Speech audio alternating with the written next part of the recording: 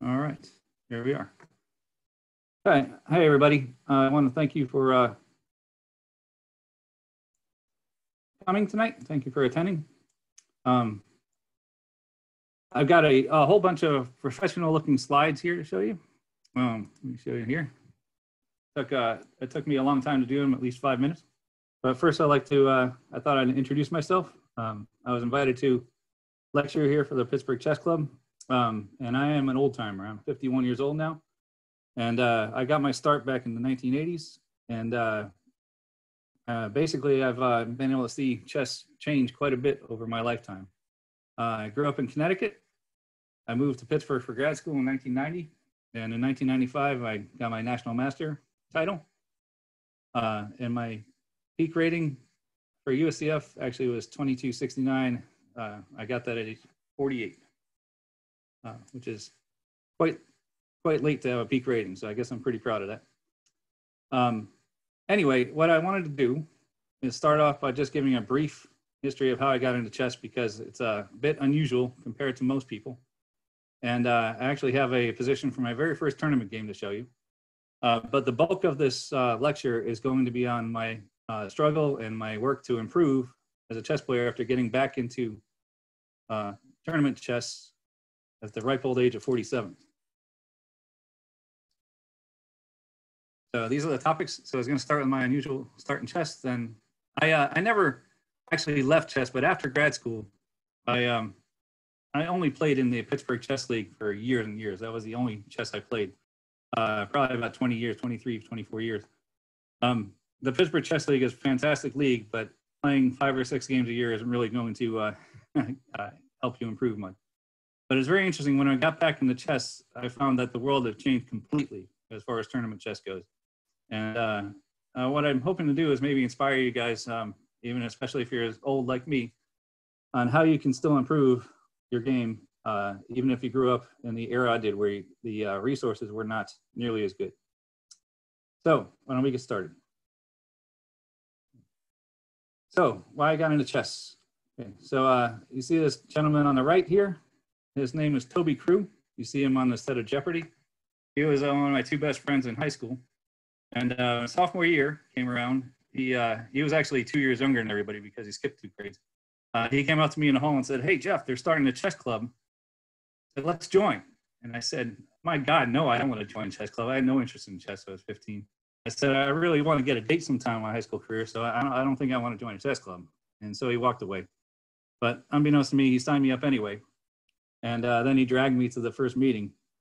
And I got to tell you, I fell in love with it right away. We had a really dynamic uh, guy who started the club. He was our IT guy and librarian. And uh, uh, my best friend here, Toby, he also uh, helped out a lot. And uh, when I found out there was such lore in chess, and literature, and magazines and tournaments, I was hooked.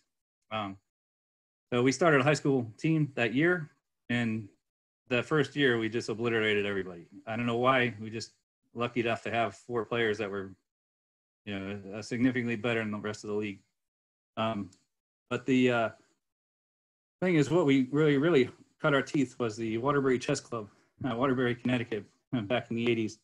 Um, my parents would, uh, our parents would drop us off every Saturday, and we would play in unrated action tournaments. Action chess, for those who uh, are much younger than me, is uh, uh, 30 minutes on a side. Uh, that was back with the old wooden clocks where you had uh, no increment or anything like that. And uh, like I said, it was unrated completely. So we just played in one of those every week for about a year. This club had a whole bunch of interesting characters, uh, some of whom were later arrested. But it's funny, back then, you know, your parents didn't mind sending you off to a strange place with a bunch of strange people for a whole afternoon. Um, and then after about a year, the club introduced uh, pre-rated games. You could go challenge somebody and say, "I challenge you to a rated game," and they would actually. Uh, Rob Roy, the guy who ran the place, he's over here on the left. Uh, he was a tournament director, and he could he could submit it for rating.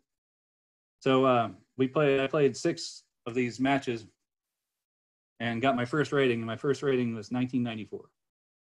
Um, I think most people nowadays start when they start off. Of course, they're starting off at age five. They're more like at a, a hundred or so. Um, so after those first uh, six games, I decided to enter my first tournament. I entered the uh, New England Open, which uh, is pretty big tournament for the U.S. back in uh, 1985, and uh, you know I, I'd only played shorter time controls back then, so I told myself it was my first real tournament game. I was gonna take it really seriously. I had a problem with attention span. I would get up a lot during the games. I promised myself I'd sit at the game since it was my first tournament game for the entire game, no matter what. And that game happened to last seven hours and 95 moves. Uh, back then, the time controls were much slower. Uh, I played against a guy who was an old, older uh, guy, I think from Russia, Victor Polyak. And he was a crafty veteran. And I want to show you the position from that first game. Let's see. Okay, so here we are. Um, this was late in the game. The game started off as a Grunfeld. I was white. And uh, I had made a mistake early in the game and it was uh, basically on my heels for the entire time. But here's this position, and uh, it's very tense. You can see that there are passed pawns here for both sides, black and for white. And technically white's a pawn up, but his pawns are pretty shattered. And I remember since this was so late in the game as a first round, uh, they were the last game to finish. And there was quite a, you know, about 13, 14 people crowd around the board because there was nothing else to do but wait for us to finish so they could pair in the next round. So it was his move. And he played this move, King G5. And I remember instantly uh, alarm bells went off in my head and thinking King G5 is a very suspicious move. And I quickly saw a really interesting continuation. I'm not saying it was winning or anything like that, but it was quite interesting. And after defending a whole game, it might give me a little bit of initiative. And I want you to take a look and see if you guys can figure out what my idea was. And you can raise your hand if you want to talk.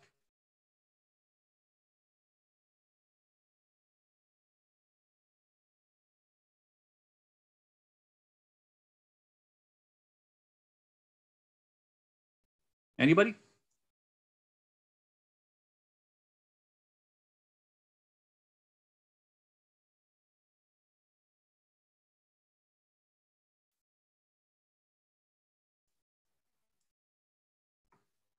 Any suggestions whatsoever? Ah, one raised hand. Here we go. All right. Thanks, Gabe. What's what's up? What do you think? Uh, H4? H4 is interesting. Um, I would assume that the king would probably retract and go back to H6. And you have to find the next idea, right? Do you have Mhm. a particular idea in mind after H4? No, not really. Not really. Okay, so let's try, uh, let's see if we can get um, another suggestion. I'm sure H4 is not a bad move. It just wasn't the idea I had in mind. Dan? How Yeah, about so, rook uh, A5? Yeah, rook a5 is interesting, right? That's not a bad idea at all. Um, and I, I assume there it also that uh, black might retract his king move and go back to h6, which is probably a little, probably safer. But uh, it's not bad. I think a little bit more radical though. Gabe, uh, is your hand still raised, or did you want to lower it? Yeah, lower. Oh, sorry. Okay. All right, Zach. Uh, Zach raised his hand. Hold on a second. Where is he? Oh, he lowered it. All right. There you go. Okay, so so far we have h4 check and rook a5. So the, the I had was, was oh here we go. Patrick. I don't know how to do it, but what I want to eventually do is play D is play D8, promote the queen. That's right. Yeah, that's right. That's a good. That's a good goal. Heck, I- I'm going to uh, allow everybody to talk and see if it goes okay. I'm not big on keeping the these things. Let's see if we can work together as a group here. If you guys get unruly, I'm going to mute you. all right. So, all right. Yeah. So, right, right, right. Would like to uh, queen his pawn, and I mean, I'd love to be able to play my king over to e2, right? Because if you think about it, that would harass the rook, and if the rook leaves the d file, I can queen the pawn, right? Um, now, let's just say, fantasize for a second, I could move the king to e2. where could the rook go to keep on the pawn? And the only safe square that makes any sense would be d6, right? And does anybody see what would happen if you played rook to d6?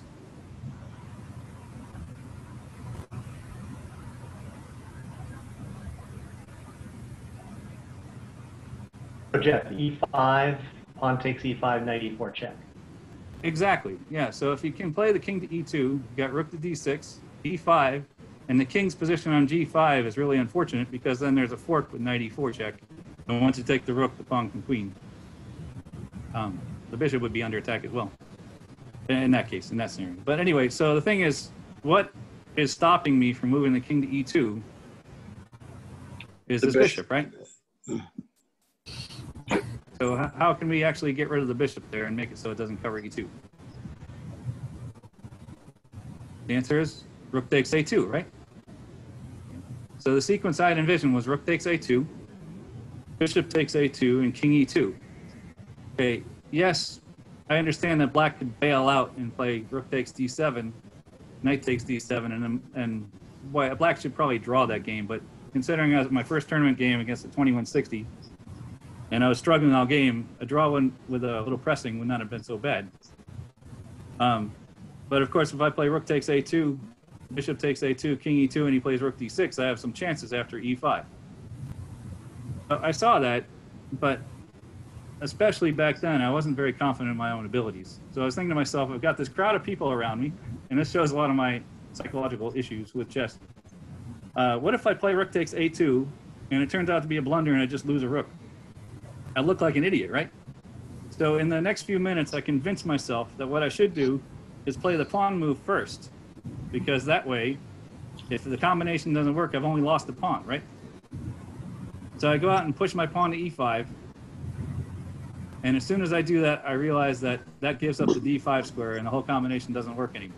So he thought for a couple seconds, looked at me quizzically, and took the pawn, and everybody around me looked at me like I was an idiot. So that's a, a rule to uh, live by is stick with your convictions uh, because if you don't, you look like an idiot anyway. Um, so let's go over the combination just to show it. What I should have played was rook takes a2 and stuck with my original idea. There's nothing better than bishop takes, and then uh, king e2.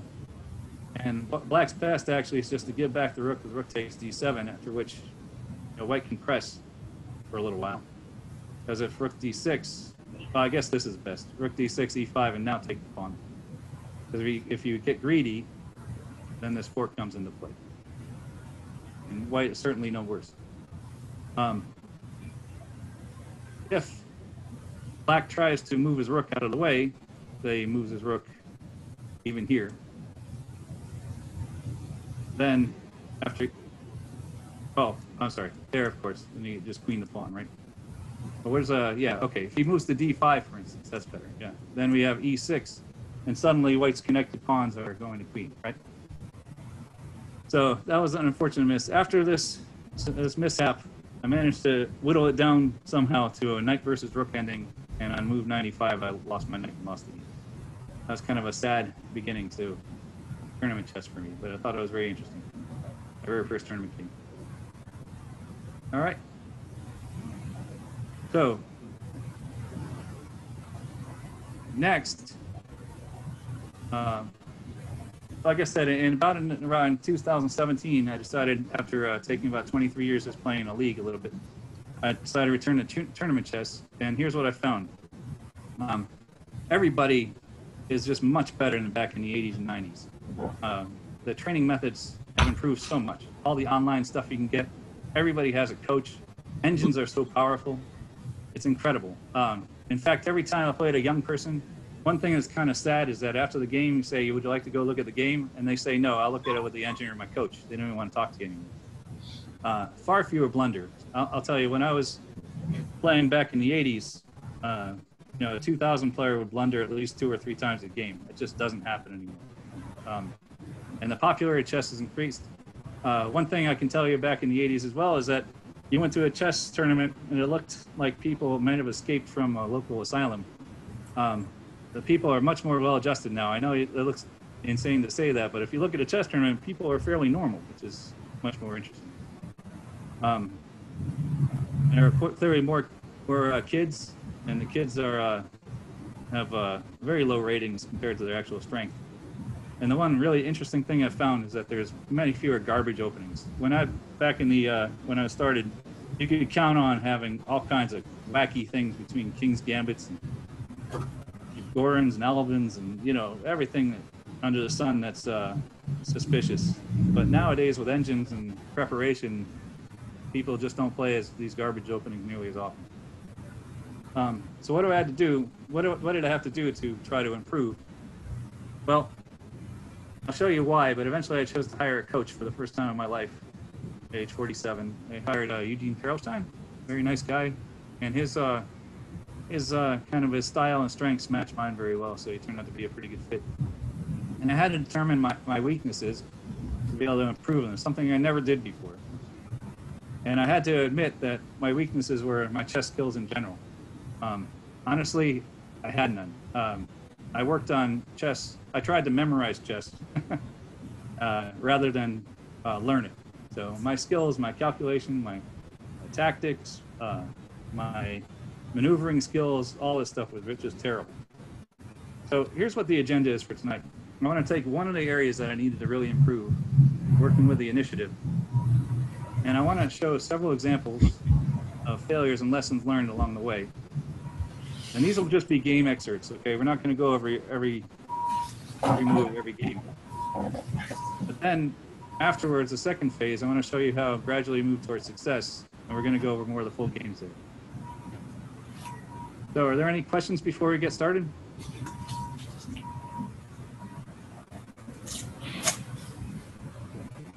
All right, here we go. So, the first game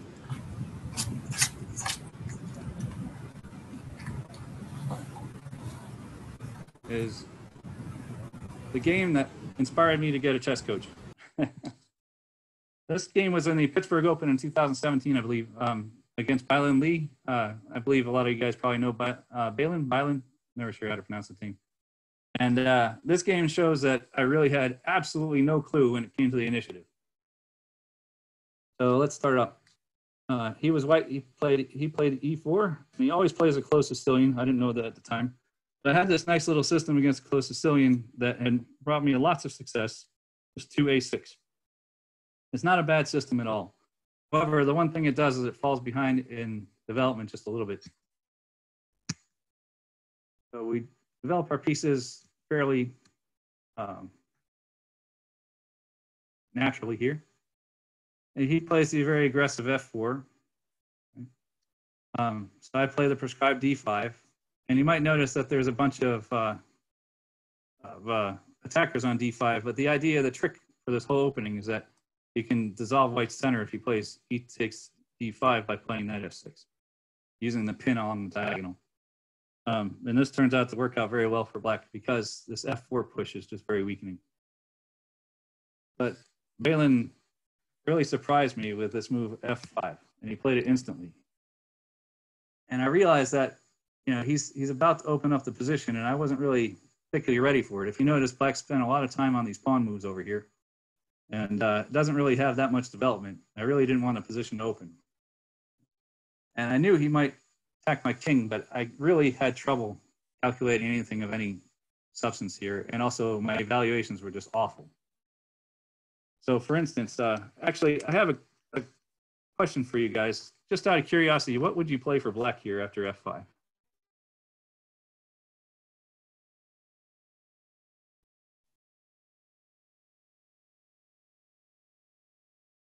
Yeah, you don't have to raise your hand anymore. You can just talk.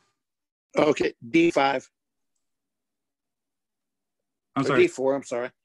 D4. Yeah, okay, D4.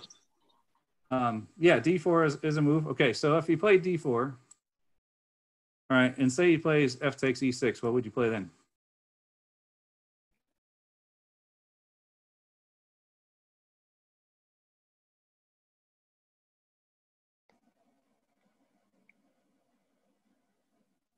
Hmm.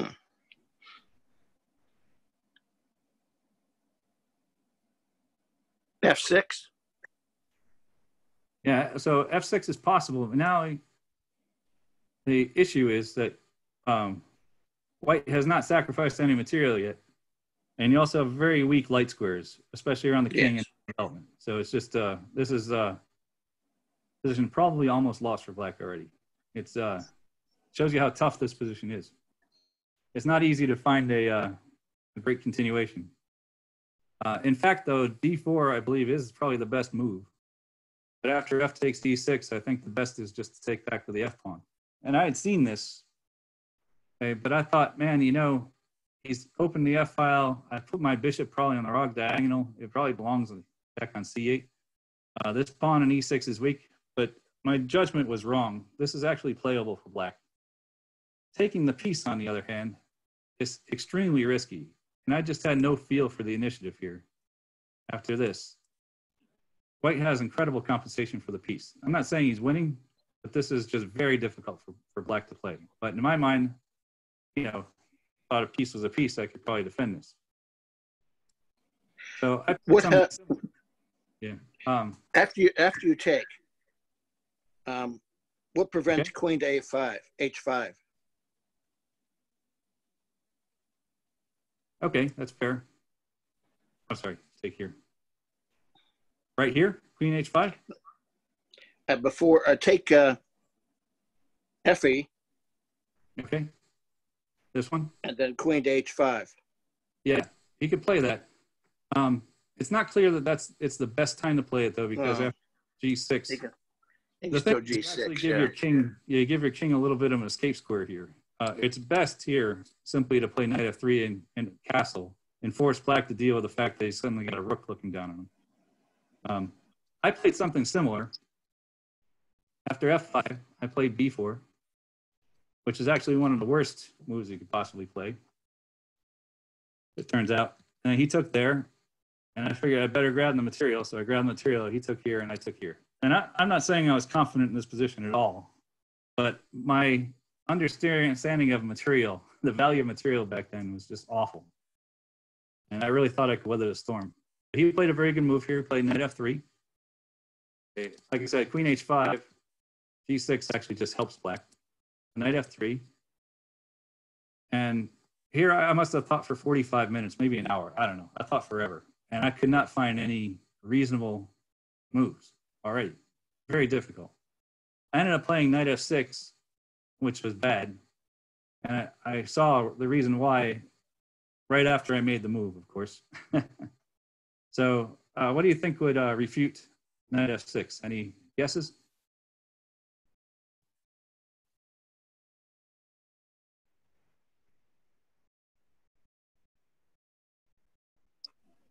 I'd probably castle here. Castling is possible. Then they have to worry about a pin on the knight. Yeah, I, if if it were me, I'd be playing bishop to g5 and then push a pawn. Okay, a bishop g5 is possible, but the um, it's possible, but it might be hit by h6. Actually, I don't know. It's tough to tough to say. Um, it, I would look for more, actually, even more aggressive ways to play. I'm thinking E E5. Yeah, I believe e5 is the move. That's right. Very good. e5 is absolutely the move, and I saw it as soon as I let go of the knight and f6. Um, that, so here, after e5, I mean, what on earth can I play? You know, I have to, if I retreat the knight, it's just terrible as you see. Like, for instance, say I play there, and he can even continue with e6. and this is what I saw. I saw after king takes e6, my God, the king is just going to get caught in the crosshairs. It's, this is just untenable. So very good job. That was nice, uh, nice call. Um, instead, my opponent actually made a mistake. He played knight g5 check, which looks very natural. And then after king g8, he played e5 then. And here, this position showed a complete lack of understanding on my part. This, is this is so embarrassing. It's ridiculous. Um, what do you think black should play here? He has only one move.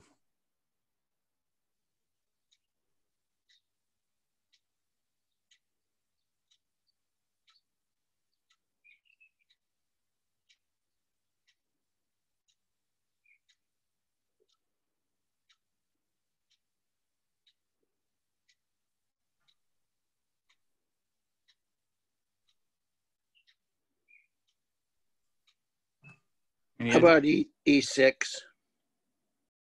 Um, wait, wait, for what? For black? Uh, no. Um, for black, uh, Yeah.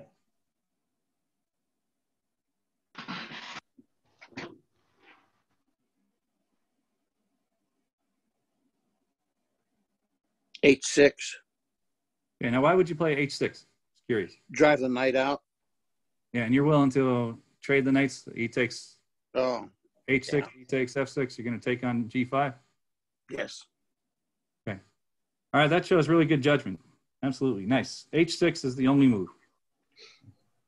You know, I, I believe during the game, if I remember right, I was thinking to myself, it just was so, uh, let's say, so much anathema to me, or whatever you call it. What is this? So uh, distasteful to me to allow my pawn structure, especially around my king, be uh, compromised so much. I wouldn't even let myself consider this move. But Black has to make a stand and start fighting back, or else he's just going to get slaughtered. So after h6, uh, the game actually continues. And believe it or not, it's completely unclear. Okay, so White went from winning to not winning here. But me, uh, I didn't, I, I couldn't bring myself to play that move. And I played this awful, awful move, uh, knight e8. All right. Now the problem with this move, looking at it, it should be obvious in general, without even calculating anything, that putting all your pieces on the back rank is not the way to play chess. um, but it has a very specific problem too. And uh, Balin finished off the game very nicely. He castled. I played C takes B2 for lack of any other other ideas is another another mistake. I could have held out a little longer. And he played this nice move, Queen F3. He didn't care about material, which is the right attitude. And obviously, he's going to come down and try to mate me on F7. Um, so honestly, what the hell can I do? Well, I didn't pick a very good move. I picked Queen E7. And uh, it's now mating a couple. Well, three, I guess. Uh, can anybody find the mate? Queen takes c4 or queen takes d5. Sorry. That's right. Was that? Yeah. Okay. Yep. Queen takes d5. And the sad thing is, I remember at the board, I didn't even see it coming, which was really embarrassing. Uh, after that, I resigned. There was no, there was no stopping checkmate. So this game made me realize that I really had no concept whatsoever about how to handle the initiative for either side. Um, the big thing was I overvalued material.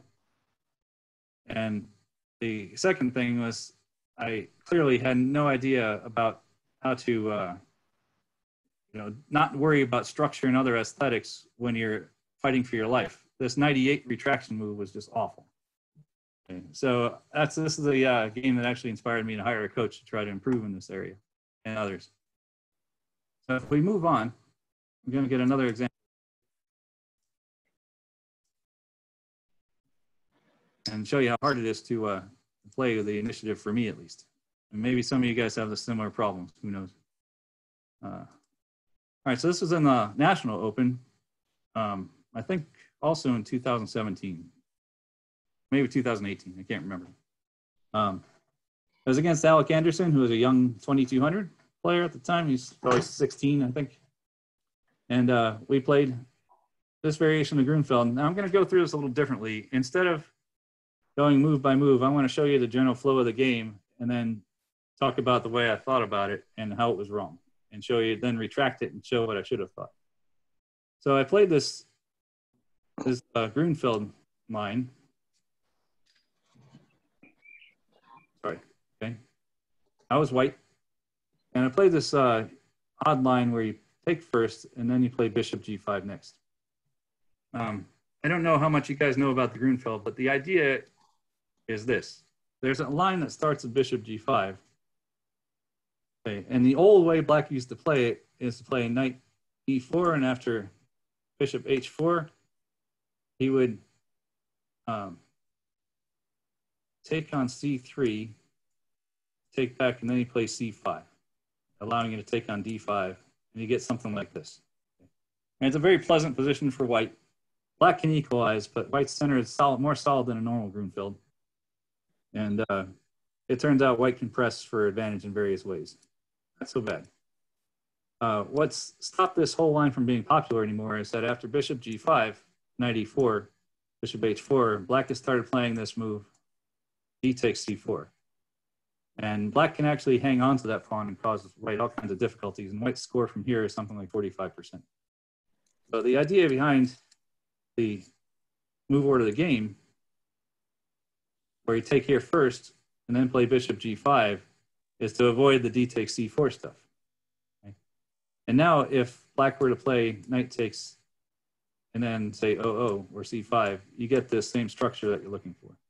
There's one drawback though, and that's that if black knows what he's doing, after bishop g5, he can play c5 right away. Okay. And then after white plays rook c1, instead of going into the endgame type line, he can actually play this good move, knight c6. And you'll see the difference here. Uh, the best for white now is to play knight takes d5, and after queen takes d5, you take the c5 pawn, but then queen takes a2, and here, black gets a much sharper game where white is best off sacrificing a pawn. So we can see that, all right, so clearly already the battle lines have been drawn, and to get anything out of position, white has to sacrifice that b2 pawn for an initiative. And back then, when my initiative skills were terrible, this was a frightening experience for me. I figured here I am playing a guy who obviously knows his stuff. He knows his line of Grunfeld. He's a Grunfeld player anyway, so he's a probably a very dynamic player. He's young, so he probably calculates better than I do. And uh, here we go into a position that I know I don't play very well. And sure enough, it didn't go very well. If we look at the game, I played natural moves. In fact, I knew theory for what it's worth following a Mamedyarov game up to here. Then he played h6 and I was out of book. So I played all natural moves, bishop h4, e5, which I thought was odd. I thought, why would he play e5 while his king's still in the center? But that's what he did.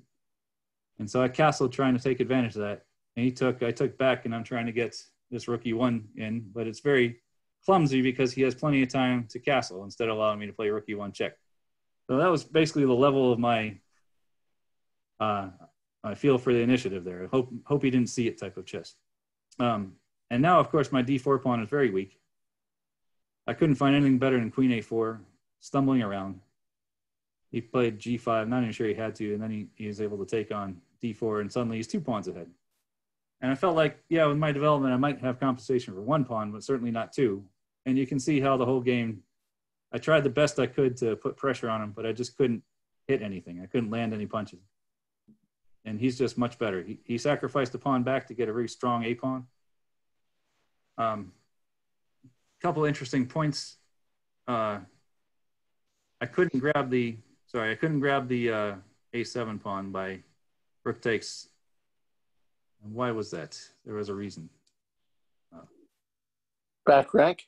Yeah, back rank, of course. Sorry. Thinking on my feet is not a strong suit. So I had to move away.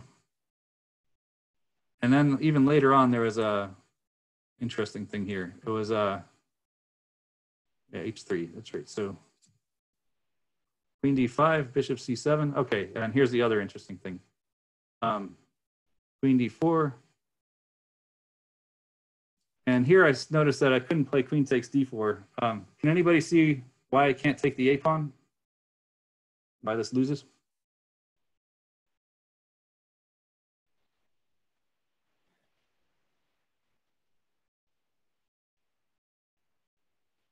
The plan is after rook takes d4, play rook to b8 and try to try to win that a pawn.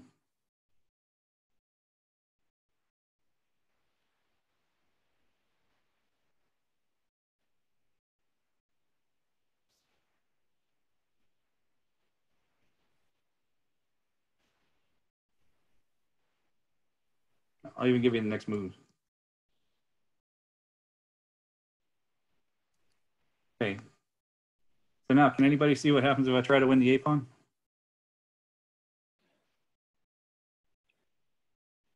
Black will play bishop e5.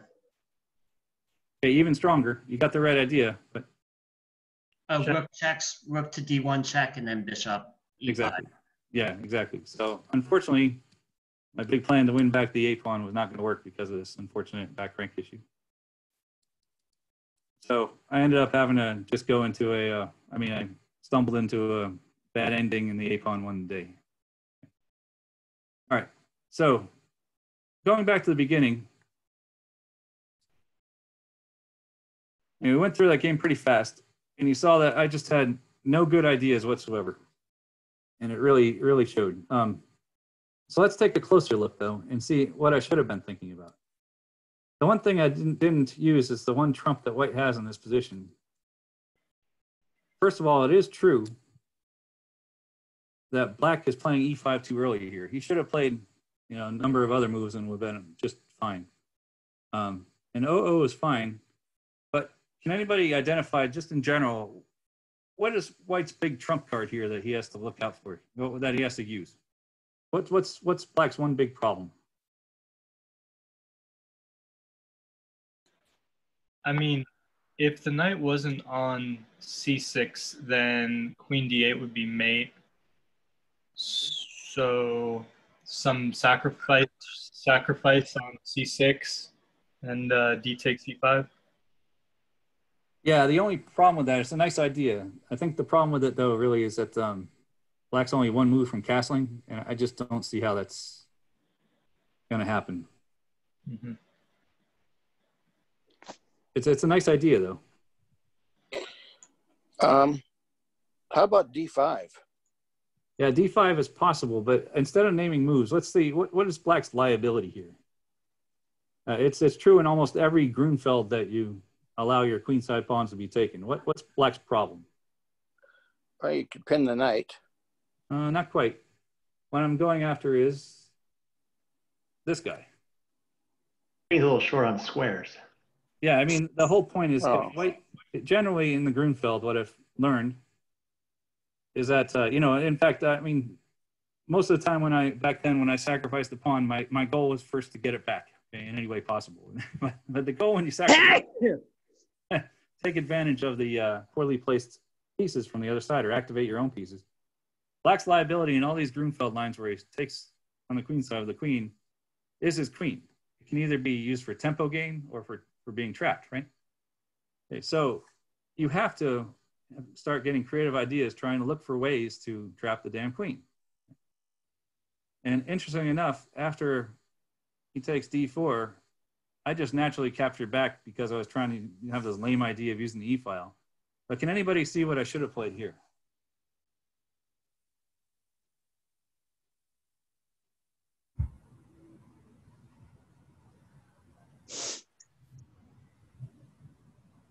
Does queen b3 work? Queen to which square? Uh, b3. Well, I don't really want to trade the queens because uh, you know the using tempo on getting tempo on the queen is uh, probably one of my best things I could do. I want to keep the queens on for attacking purposes in this case. Sometimes How about rook to b5? yeah, rook b5 is not bad, not bad. Uh, at least you're gaining a tempo on the queen, but the problem is that b7 is protected. Uh, the queen moves to say a3 or something, and it's not clear what to do next. Maybe bishop b3.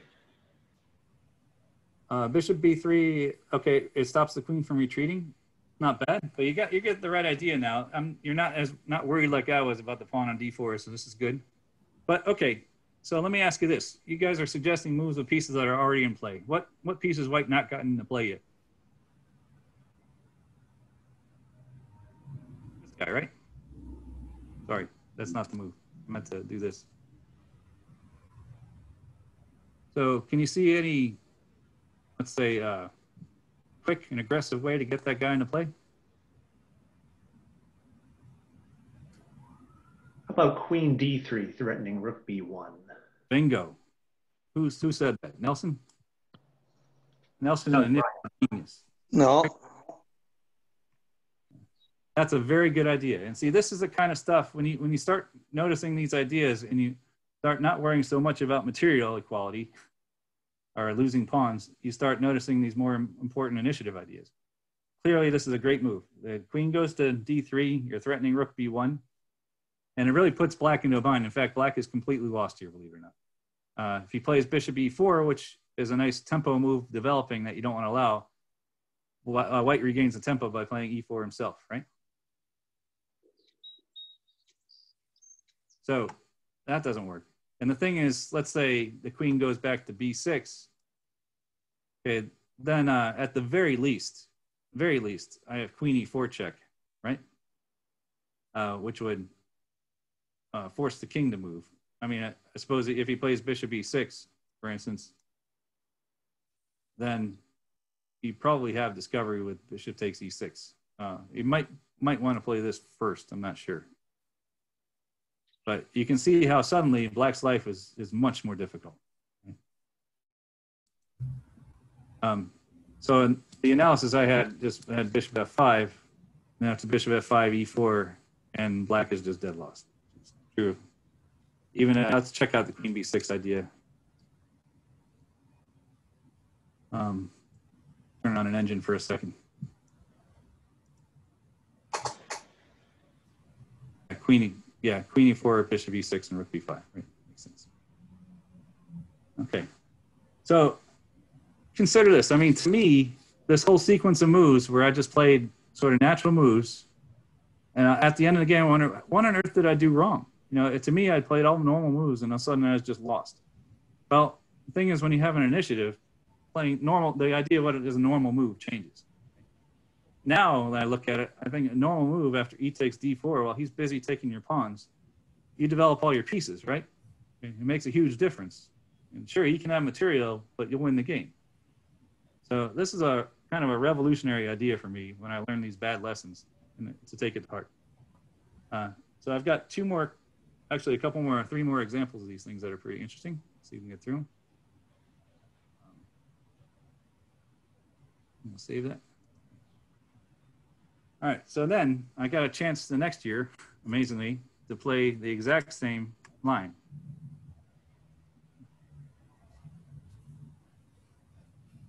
All right, let me uh, actually I'll just enable this. All right, so if we look at this game, this is against Alex Costello, who's another, another young player. He's 15 at the time, I think, or maybe 14. I don't know. Um, already a 2300 player. Um, somebody told me he was just a calculating wizard, uh, and so I'm playing my line. This is the line of Grunfeld I had. Is the only one I had really. Uh, so he played it and looked familiar, and course, I'm hoping maybe he doesn't know it, but sure enough, he goes right back into the critical line, and here we are again. So I'm thinking I already had a horrible experience against Alex Anderson, but at least I learned from that, and I'm playing another whiz kid in the same line. Let's see see what happens. I played e3, and this time I played bishop d3 instead of bishop c4. Only because uh, they're they're both reasonable moves, but sometimes a bishop can go to e4 and put a lot of pressure on this diagonal from e4 to a8. Um, all right, so the first really interesting uh, point comes after move 15. This was a good move, by the way. You shouldn't check with the queen here to force the knight to a more passive square. He was aware of this and did it. So the game is completely different now than the Alec Anderson game. I, I won't be able to trap his queen, but he played this bishop d7 move after a long thought. And I thought, well, you know, I really didn't want to take my pawn back because I didn't want to be a just a sacrifice a pawn only to try to win it back. But I, I really couldn't find anything better than rook b5. Uh, I looked at a long line like this, queen c2, rook here, and I just I want I looked at this for a long time and couldn't find any any fruitful gains from it. But at least I was calculating a little better and seeing ideas. So instead, I played rook d5. He played queen d6, and I took the pawn. Fine. And he played rook a b8. All right. So now, thinking about the initiative, can anybody suggest there? There are several decent moves here for white. Uh, what would you uh, suggest?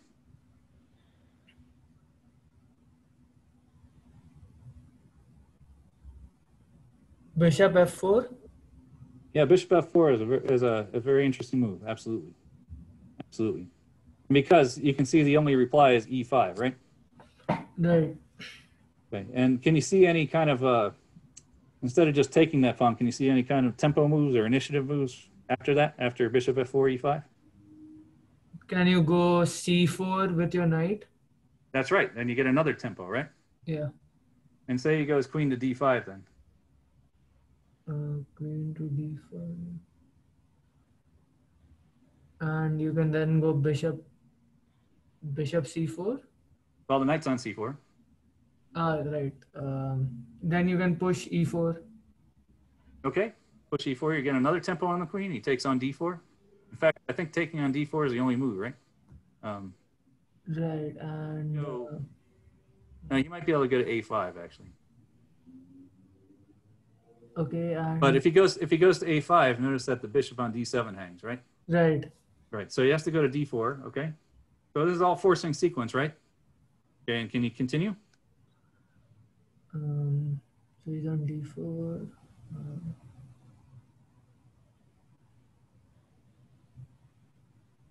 uh, can you take the bishop? Can you go knight uh, b5? Uh, well, the knight's on c4, so it can't get to b5. Okay, sorry. Yeah, c4. It's okay. Uh,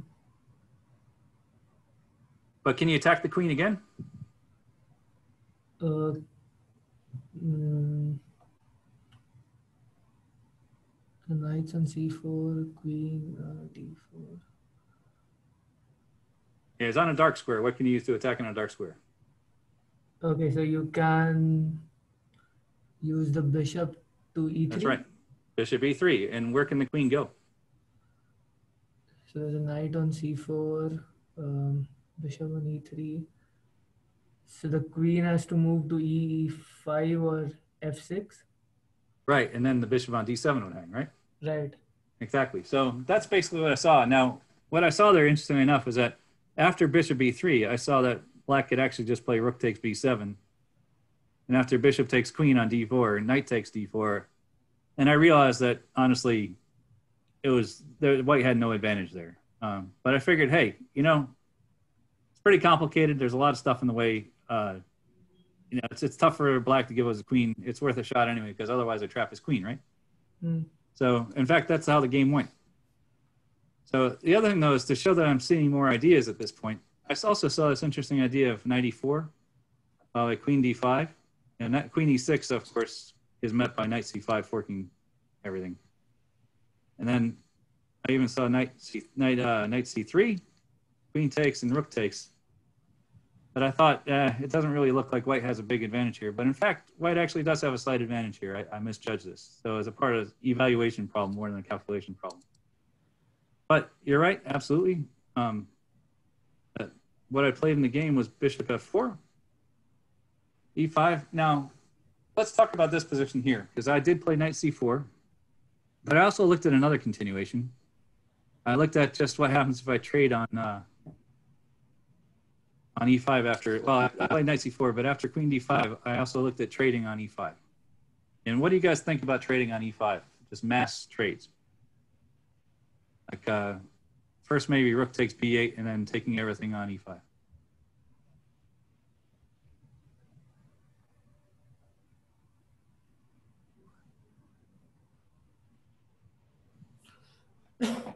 Looks like you're opening it up for black.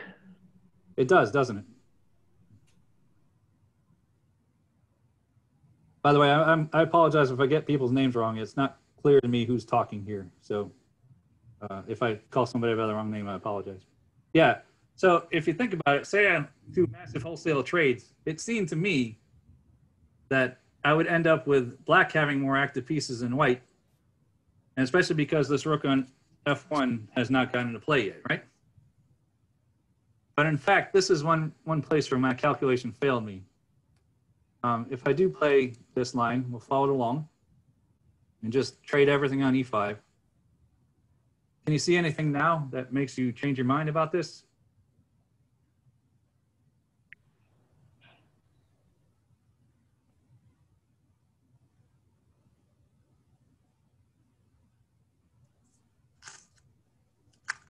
That uh,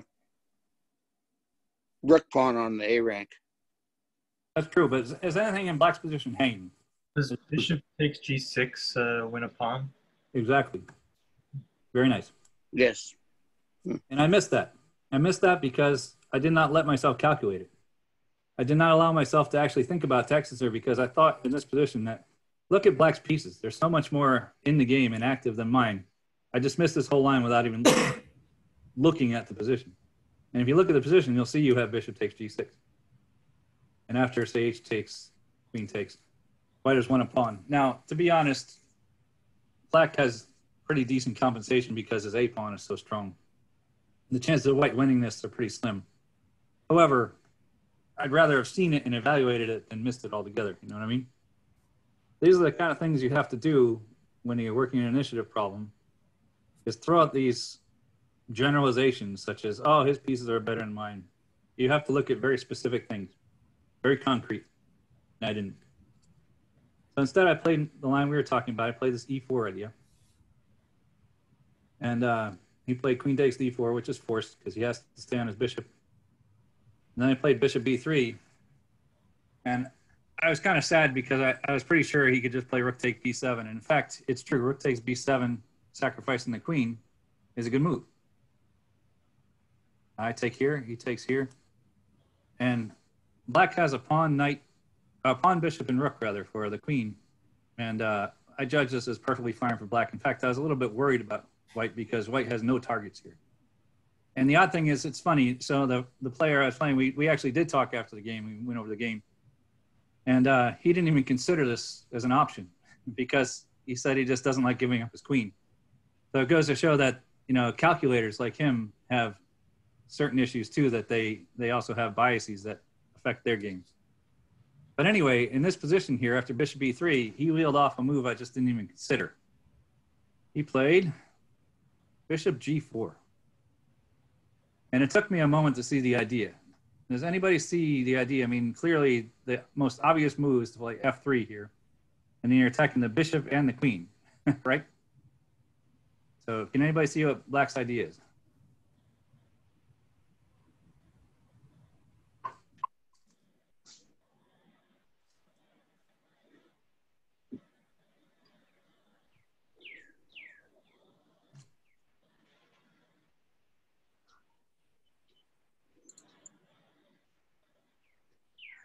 So I'll even put in the next move, I'll put an F3. Hey, Jeff, can you unmute um, Malay? Yeah, I'm sorry. I didn't realize he was muting.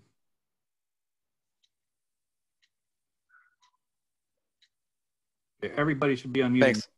Uh, sorry about that. No problem. Yep, I apologize, Molly.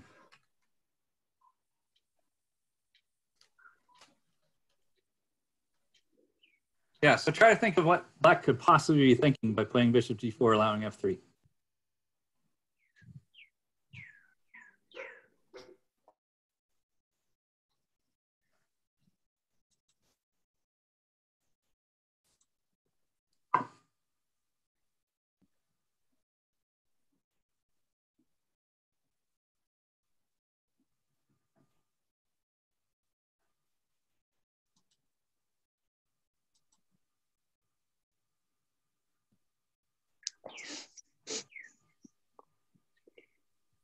So Jeff, this is Brian, queen c3, and then after the rook trade, then there's the threat of rook d8, pinning That's the right. white bishop to Very- the queen. Very nice. Thank you for telling. And I recognize your voice, though. That's good. Thanks for telling me who you are, anyway. Uh, yeah, no, absolutely right. Black's idea is after f3 to play queen c3, and then after I take the bishop or whatever, you know, eventually he wants to play rook d8, pinning and winning the d3 bishop back. And I saw that pretty quickly and thought to myself, "Gosh, boy, that's clever." And uh, I had about 20 minutes left on my clock, and it was, I think, I can't remember what, what I don't know what move this was, but anyway, the, the thing is though, I, I remember distinctly feeling that I'd gotten this far and hadn't screwed up the position. I was really worried about, uh, you know, failing at this point, and um, bad mindset. Uh, and I saw a very safe continuation, and it really was hard for me to calculate uh, based on because I'd already found a safe way to get to a very drawish position, um, which I felt was a somewhat of an achievement because he was higher rated and I was playing on a line that I was very uncomfortable with at the time. So anyway, but the thing is, I really should have buckled down and started calculating. Let's see if we can figure this position out because believe it or not, there is a, a clear win for white. and it's not easy. Okay. Very, very impressive though. All right, so first of all, uh, let's play f3. And we plays queen c3. Okay. Now we know taking the bishop is probably not very good because of uh, because of the uh, eventually the rook coming to d8. But let's try to see if we can figure out some some key ideas here. Does anybody have any kind of suggestions or any observations about this position that make it interesting?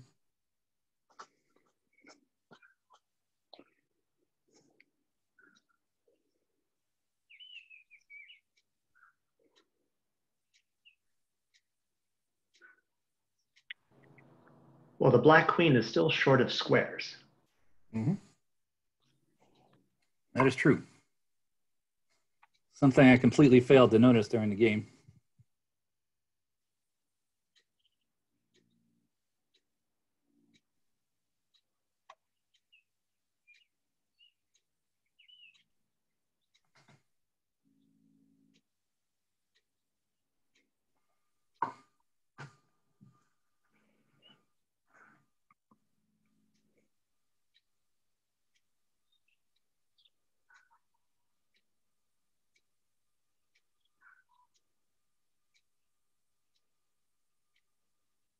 Yeah, so let's start with this. Let's let me ask you this very specific question. If white were to play rook takes b8 right now, how should black capture back?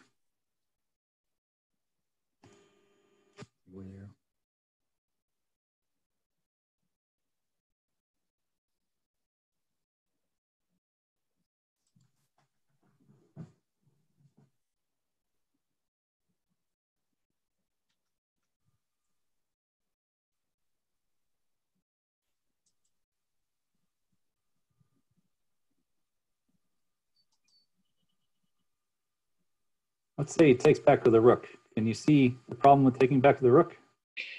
That leaves your F7 pawn weak. It's true, actually. In fact, I remember calculating that. Um, you know, trying to play uh, f takes g4 and queen f3 and attacking the f7 pawn. Uh, it is true, actually, but uh, that's where I got kind of stuck and was it was unclear. We can actually look at those variations in a second, but there's something much more clear after rook takes b8, rook takes b8. Can anybody find it? Uh, loose pieces on the C file. Yeah, that's, that's definitely part of it. So if you think about it, we know that after f takes g4, to maintain any kind of material equality, uh, black has to play rook d8, right? And he's counting on the fact that he's got the pin on the, the bishop. So the question is, there anything loose you can gain tempo on?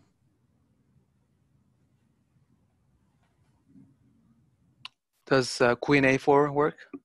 Exactly. Queen a4 hits the loose knight on c6, right? It's not quite over yet because, uh, well, I'll show you. But it, it works out for white only because you have to see the next level of tactic here. Um, because after rook takes, notice the knight is pinned. You can't take back. But we have this intermediate move, queen e8 check, which wins the game. So, very good suggestion. That was a combination of people. It's nice. So it's it's important when you're calculating these positions to make observations like this. Because think about it, if you take the rook, then black has to take back with the knight, right? And clearly that deactivates his knight and keeps his rook on f8 deactivated. It's promising, right? You might as well look at it and see if you can use that to your advantage. Okay. So let's assume that we play rook takes b8, knight has to take back, knight takes b8. What next?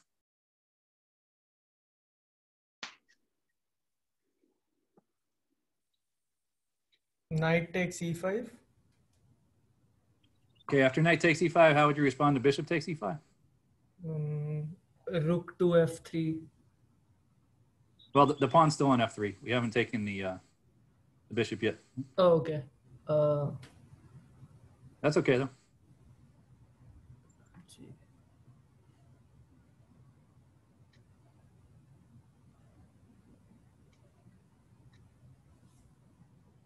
But somebody mentioned before an important observation. So we've got two observations. One is when we take the rook on b8, the knight has to take back, which is clearly favorable for white. But the other thing is somebody mentioned the queen is short of squares here. Where can the queen go?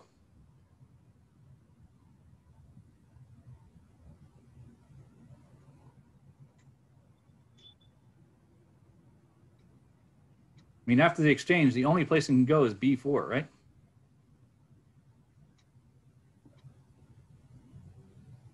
So can anybody find a move that cordons off the queen?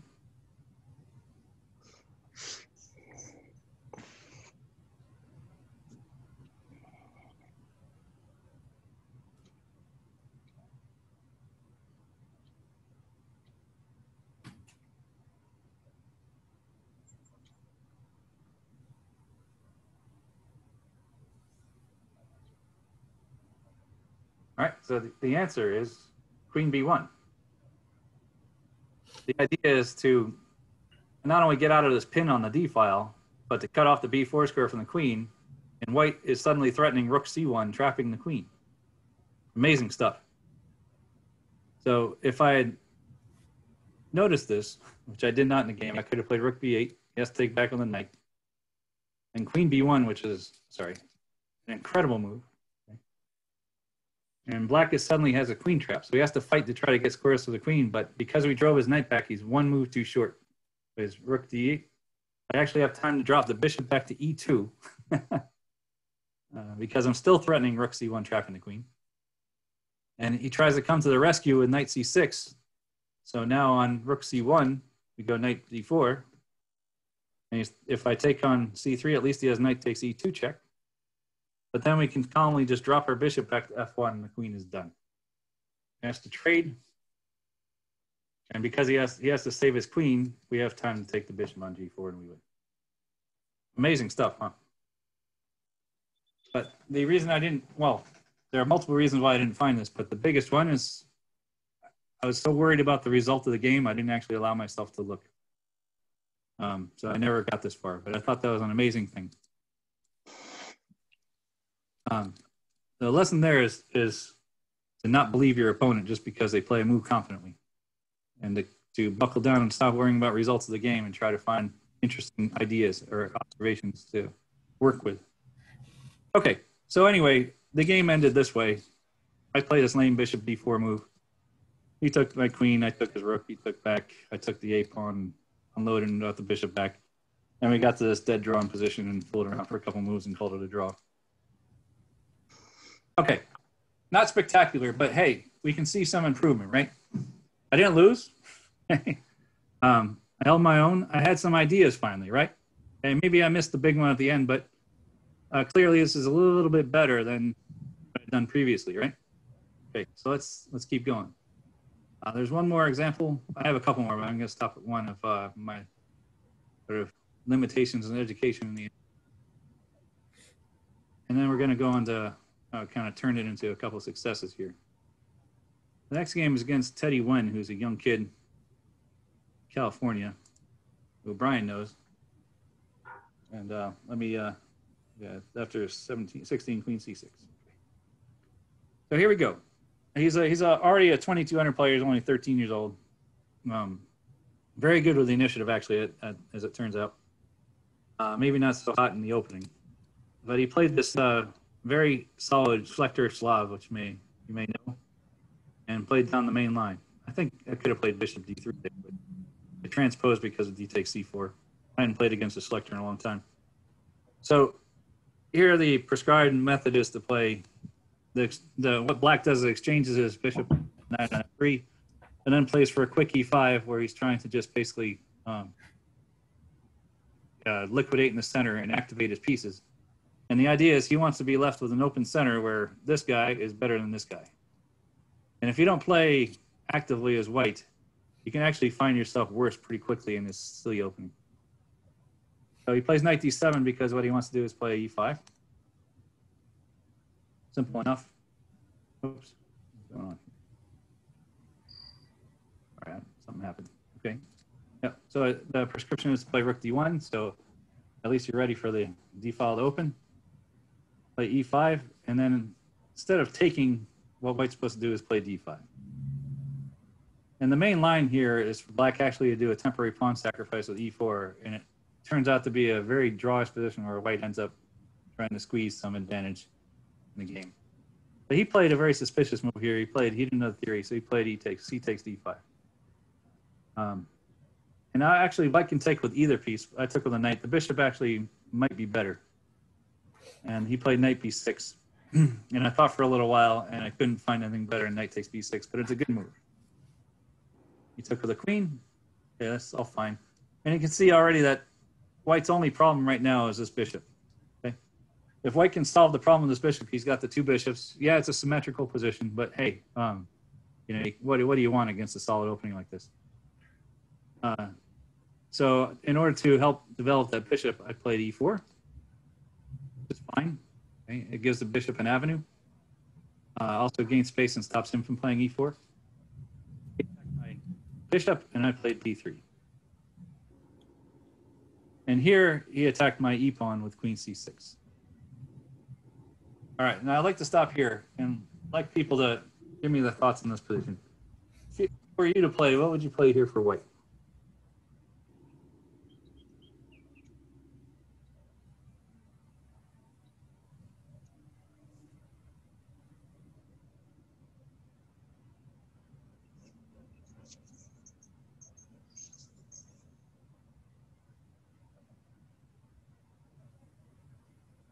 Bishop a3 for a tempo. Hey, that, you're absolutely thinking in the right direction. Okay. Now, if he plays, say, uh, rook and f2, d8, what would you play then?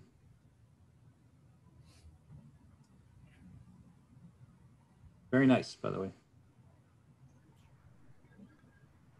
Not sure. I'd either exchange or exchange and then rook to E e1. Uh, okay. Yeah, good. That's that's very instructive. Thanks for for uh, pointing that out. I see what you're saying. Uh, I'm glad you recognize that obviously the e pawn is under attack, but you had the same failing and thought that I did during the game. Uh, you know, I didn't want to lose a center pawn. Okay, especially a center pawn that might allow his bishop to open up if they can then dump his pawn with e4 or something. So I wanted to cling to this e4 pawn. Um, so your idea is bishop a3 and after rook d8 perhaps exchange and then play rook e1. So something like this.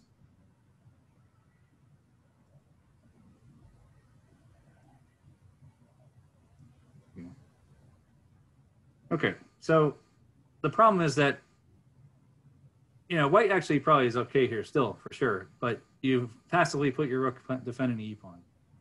Ideally, we'd like to do something a little better, right?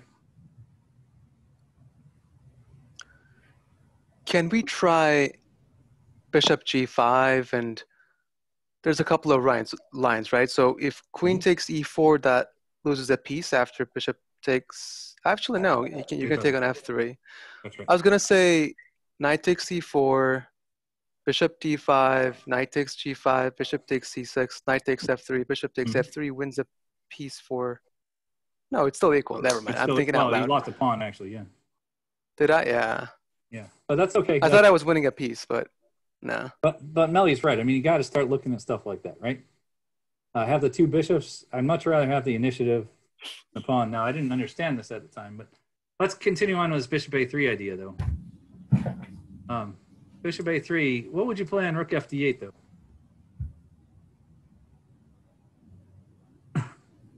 Our goal is to activate our pieces, even at the expense of the e4 pawn. About swapping rooks and then playing bishop d5, Okay. Uh, followed by rook to d1?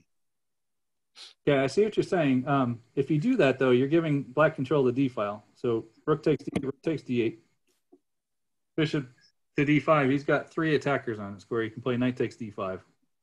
You can pin it with rook d8. I do agree um, with that.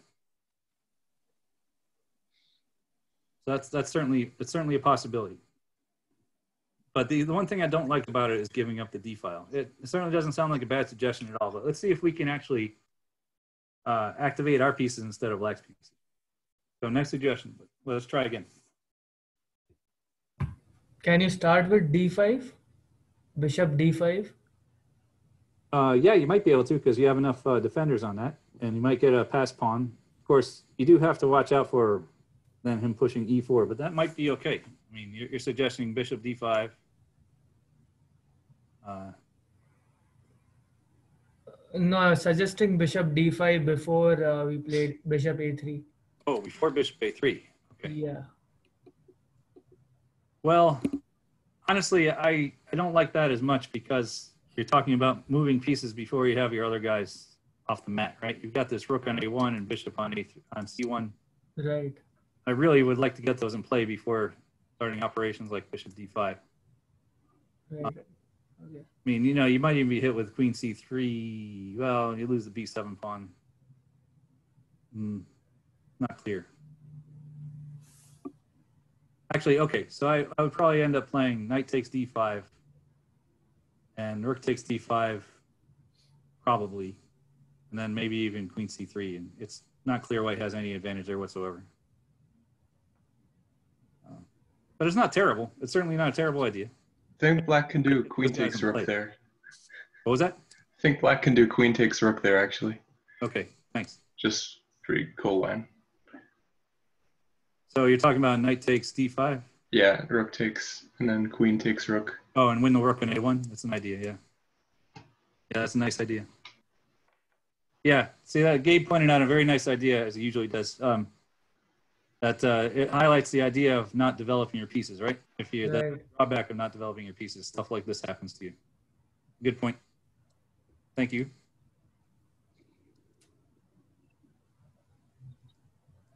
Okay. Let's check it out. I mean after bishop a3 rook f d8 instead of giving up the d file let's see if we can actually use our active pieces. The right move is bishop e7 okay now black's going to have to give up something. You know for instance say he plays something really silly like rook e8 then we really have to he has to watch out because we have rook d6 with our active pieces right? We get to use the d file. And suddenly this f6 knight is looking very very scared. Um, so after bishop e7 rather sorry uh, you know he, the normal move is is the best move is just to take take and then he can take the e pawn. Okay and this is what i was worried about that's why i didn't even really look at this line.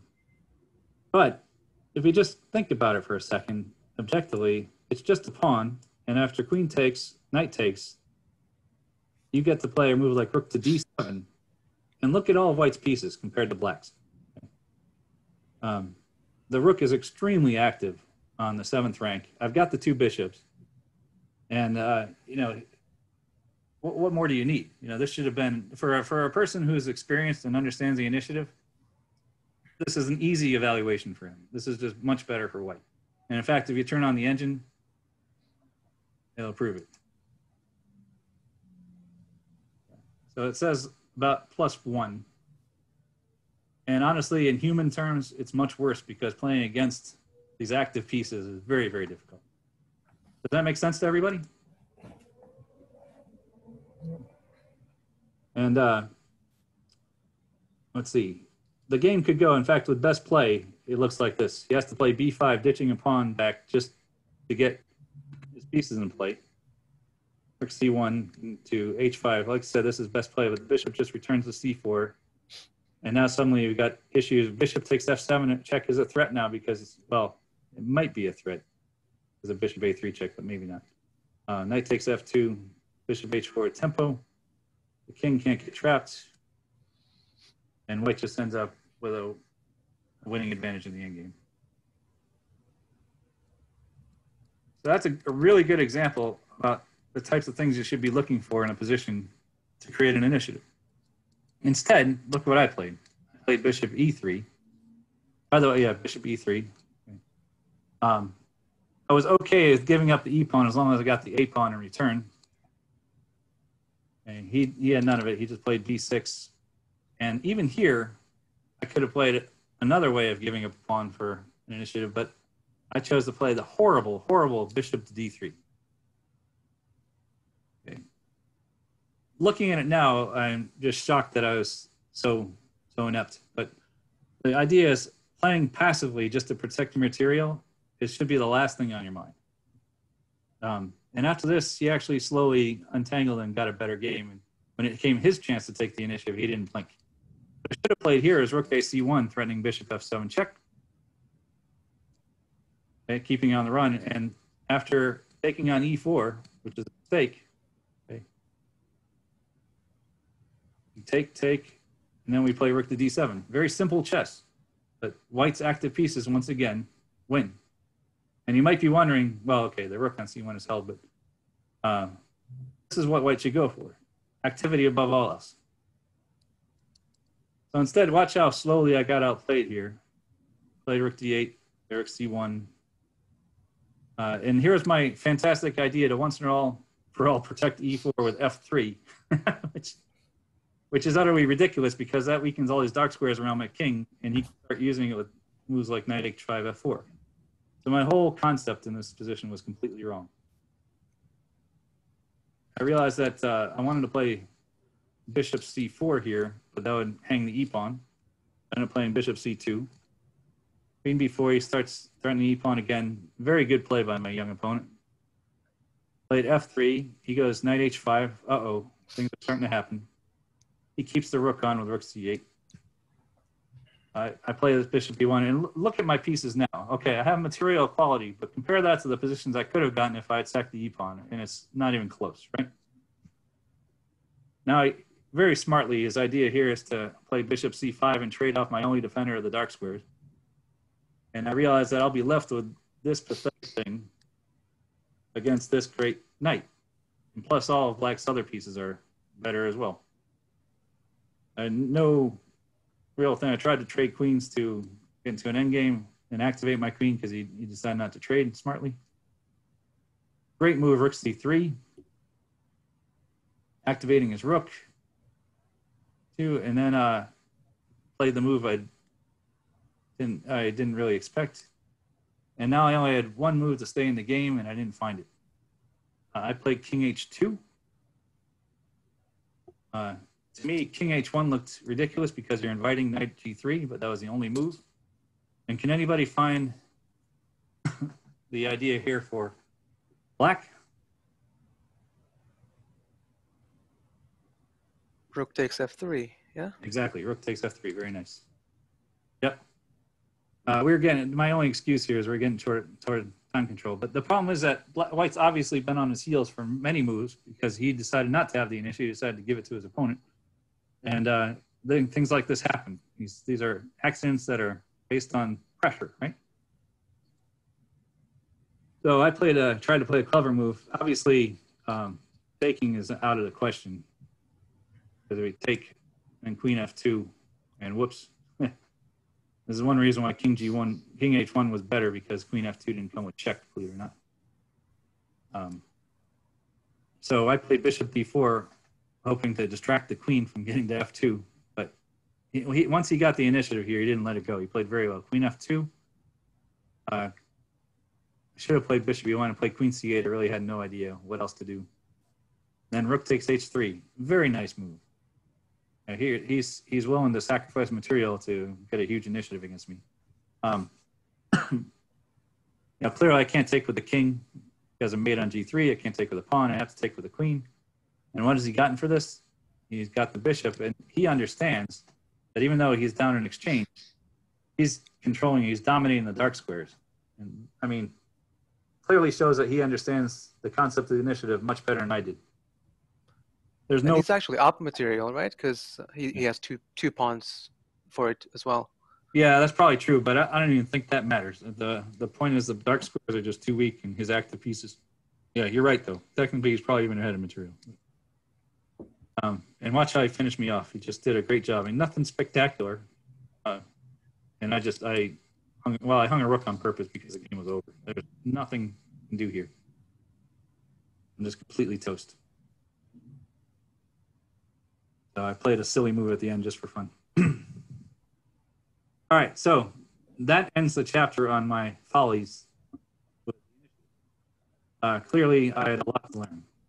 I started learning some things over that time. You saw getting a little better at certain things, but other stuff not so much. Uh, worked on it a lot. Um, not only with my coach, but I I uh, got a book by Judith Polgar. Uh, I worked with some of my friends on it. I got a great book by Kuljasevic named um, Beyond Material. I if you've seen that book, but it, it gives a lot of examples about initiative-based positions. And finally, it started a turnaround, and this was my kind of turnaround game. So this is Chicago Open. I can't remember which year, but Um, I'm playing a, a young kid. He's 14 years old. He's 2370 FIDE at the time. Um, and you know, one of my problems with the, the my chess skills lacking is that I, uh, you know, lack of tactical ability and initiative play is that uh, I really had a hard time beating higher rated players. The reason is that it's kind of like being a pitcher without a strikeout pitch. You can get to good positions, but you can't put them away because they don't fold like lower rated players do. If you're playing a person lower rated, you know, there's a good chance to get a good position. They're just going to collapse. But when you're playing people 200 points higher than you, it's not so easy. They they put up stiff resistance, and you usually have to come to some kind of tactical solution to win the game. And uh, that was just not my repertoire. So let's see if I can apply the lessons I've learned in this game. I was white. He played he played this very interesting line of the Slav defense called the Argentinian variation. D takes C4.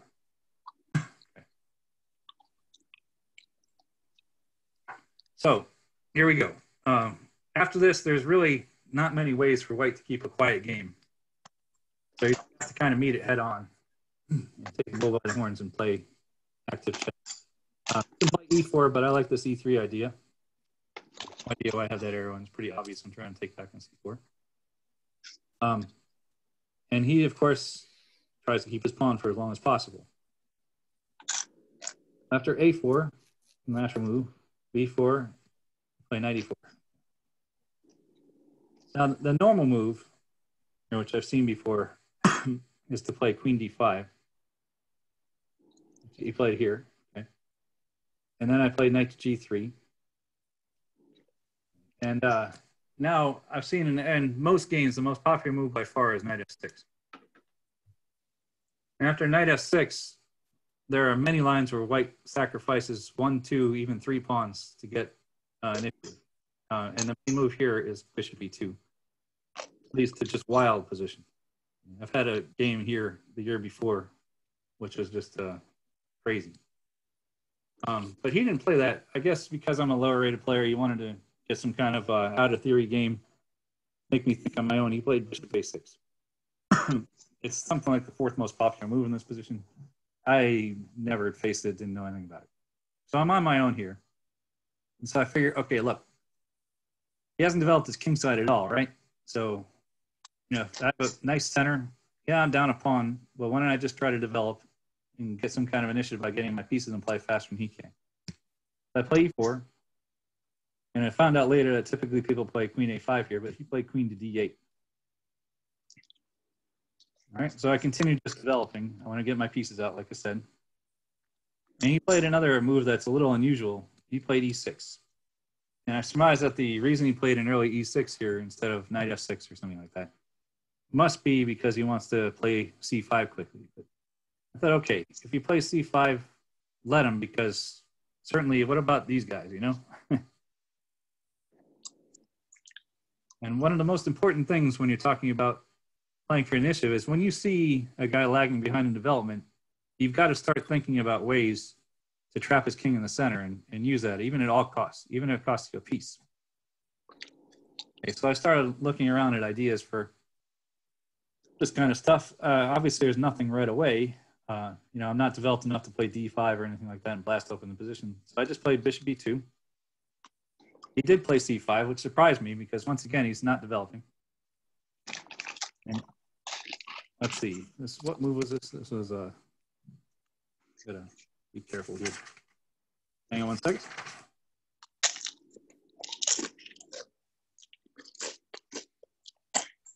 Ah. Okay. So I castle. And he finally played knight f6. All right. So here's the question. How would you continue in this position if you're white?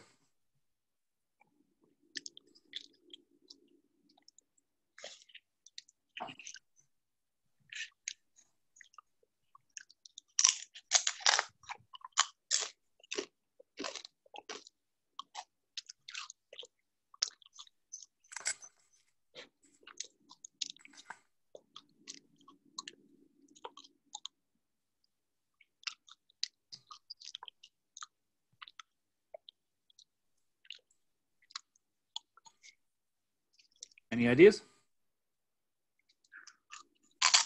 Bishop G5. Okay. And why would you suggest that? What's the uh, reasoning? Develops the bishop, allows you to play rook on C1 later. Okay. That's that's definitely one idea. Yep. Uh, okay. Um. And what about if he just plays H6 there? What are you going to do? Um, guess I'll have to uh, trade. Is that a good idea, trading your bishop for a knight? I personally don't like bishops. Ah! Okay. That's funny. What they ever do to you? Um, okay, well, I like knight to e5. Well, knight to e5, I'm a little worried about my d4 square collapsing. Yeah, but you're also attacking on the counter attacking on the c4 square. Yeah, that's true. That's true. But actually, that, that leads that's a very interesting point. I'm glad you brought it up. I want to answer this bishop g5 thing uh, for a second, then I'll get back to this. Um, yeah, so, okay, so bishop g5 actually is, is a pretty decent move. I was thinking about it in terms, slightly different terms than being able to play rook c1. I'll explain my thought process in a minute. But after h6, in fact, bishop takes f6 is exactly the right move. And the reason is that h6 is another waste of tempo, and you don't want to give him a chance to uh, to gain the tempo back by retreating your bishop. And in fact, the idea then is you have after bishop takes f6, queen takes f6, you have ideas of f5. I'm sorry, e5 rather, and further tempo gain. And that's at this point, it's all a tempo game. You just want to get as much, as many tempi and as much initiative as possible. So you can't be worried in this position about having to trade a bishop for a knight, even if you did like uh, bishop more than knights.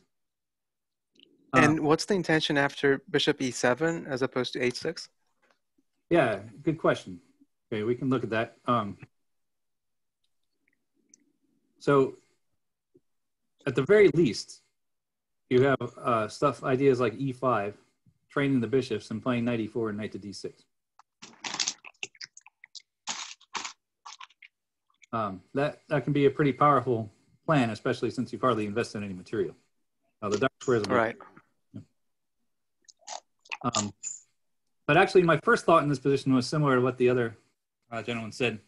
I'm afraid I don't know all the names. Apologize, but um, he thought of this idea of 95 uh, with the idea of regaining the pawn on c4. My first thought actually was to play queen c2 uh, with a similar idea because knowing me as you do, my first thoughts are if you sack a pawn, first objective is to get it back, right? as stupid as it is. But even I was able to convince myself this was dumb because black can actually develop quickly and oppose my queen on the c file. And this is the line I'm calculating. We see here that despite, I mean, th- th- this line for white clearly shows that he's missed the mark. I mean, he's, his advantage in development has almost evaporated. And it didn't matter as much anyway because we've gotten to an endgame where black's king actually may be better off in the center. I thought black would be let off way too easily here. So in fact, I did play bishop g5. Very good move. So let's see if we can figure out what happens on these things. So if, in fact, uh, after h6, we do indeed trade because it's a tempo game. We're just trying not to give them a chance to breathe. We don't want to retreat and give them time. And we play rook c1 then. Not, not really just to regain the c4 pawn, but the idea is now black almost is missing one tempi, one tempo he needs to try to avoid infiltration here. We can use a c file to, to uh, invade. So he plays knight c6, e5, and you see he's almost one tempo short. We can even trade queens, and then we get in this beautiful knight e4 move before he can actually develop. This is a good variation to illustrate that black just doesn't have enough time. He's down one, one or two moves short from really organizing his pieces. And onto uh, the other suggestion was Melly of bishop e7, which was a move I kind of expected. e5, knight d5, play bishop takes, queen takes, and knight e4. And because of the hit on the c5 pawn, Um, black doesn't have time to both castle and save the pawn, and knight d6 check is coming soon. So clearly we can see the ramifications of not developing for black and how white has to play very energetically to try to take advantage of this stuff. I played bishop d5. Let me, I want to make sure I can move the mouse wheel on this one. Okay. All right, and he played knight c6. I was shocked at this point. I thought, how can you possibly delay your kingside development so long? Now, clearly, he's trying to fake me out into worrying about my my, my loose pawns in the center or something. I really don't know. But now you got to start kind of salivating or foaming at the mouth uh, if you want to be a good attacker and figure out, okay, look, the king is in the center. Clearly, it's highlighted here. We got to start looking at ways to take advantage of that before he can castle, right? So, what would you play here as white?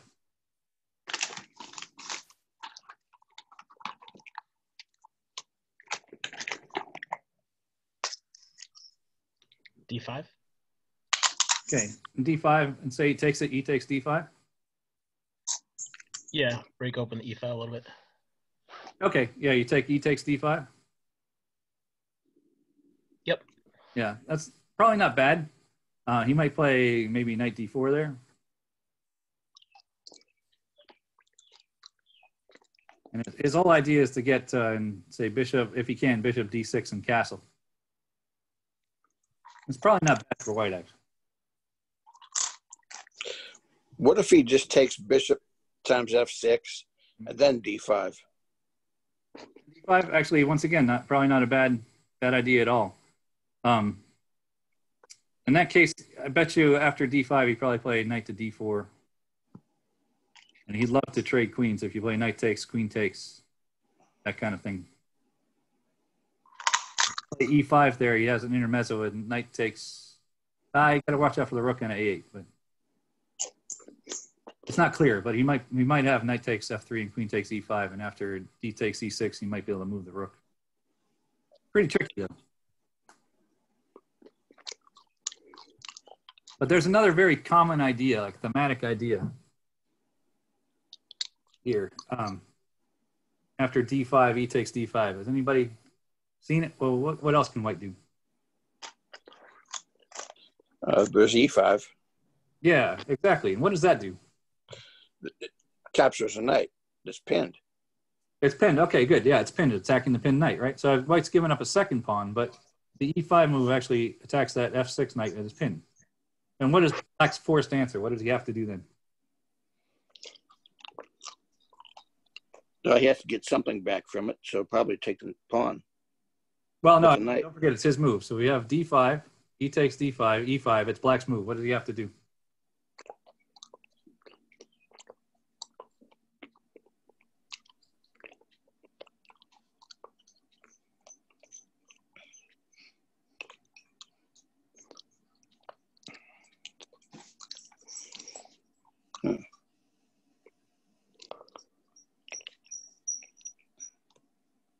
He has to play H6, right?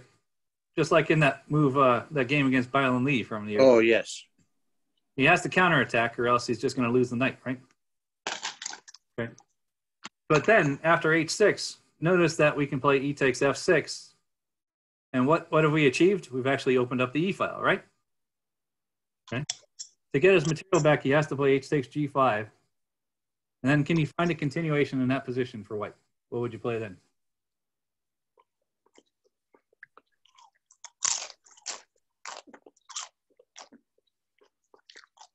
So whoever's uh, munching potato chips over there, can you just mute your microphone while you're munching? Thank you.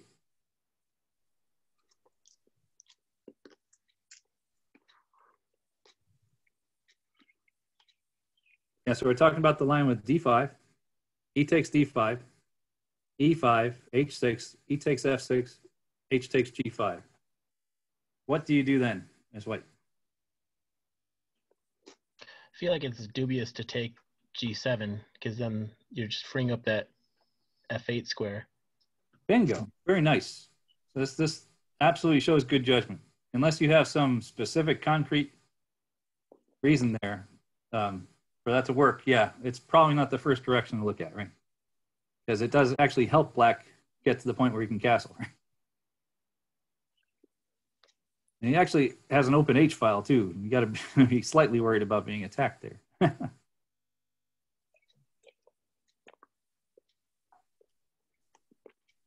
so we open the E file. What do we want to do with it?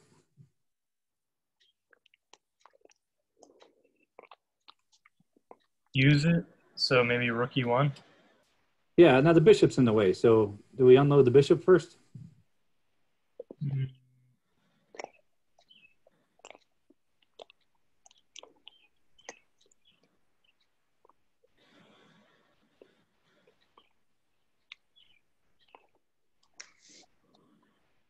I don't know. I don't know. Okay. Um, well, the problem with the problem with that is that if we play bishop takes c4 first, okay, then he takes bishop takes c4, and when we play rook e1 check, he can actually play king d7, and the bishop covers the d5 pawn. Hmm. That's a problem. So the whole thing clicked into place for me when I saw rook e1 first. So the moves are d5, e takes d5, e5, h6, e takes f6, g takes h, h takes g5, rook e1, posing the king. Okay.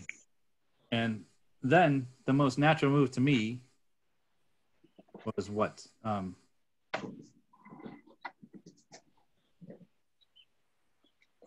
oh, yeah, this is the thing. He can't play king to d7 to get out of this attack because it, it finally dawned on me that I could actually play queen takes d5 check there. And when I realized that I could play queen takes d5 check, that's when I realized the whole thing fell into place. Um, so his king can't run. That's the point. And he can't play anything interposing like bishop e7 because the pawn's in f6.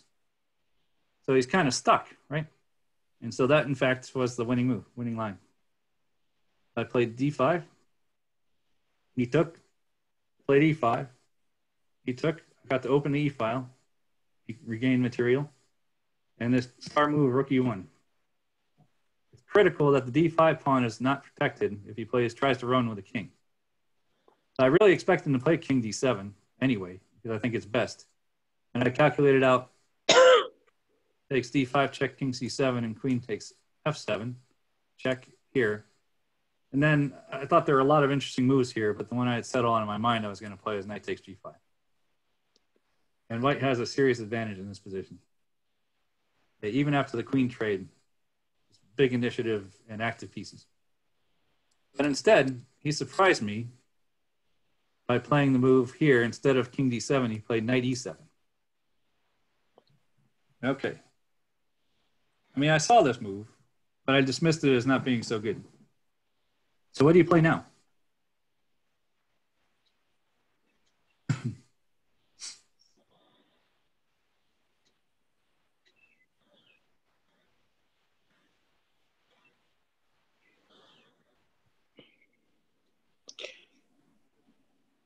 Pawn takes knight. Yeah, you absolutely could. There's no doubt. No doubt pawn takes knight is a reasonable move. And bishop takes though, and he's potentially ready to castle.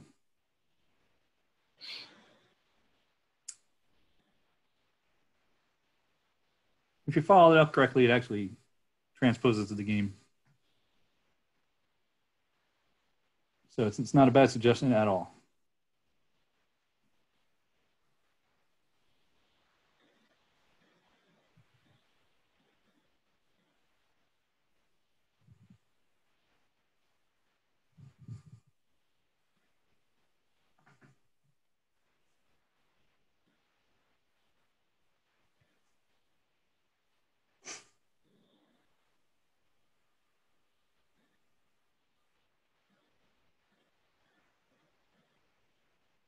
Uh, could you play something like knight to e e5?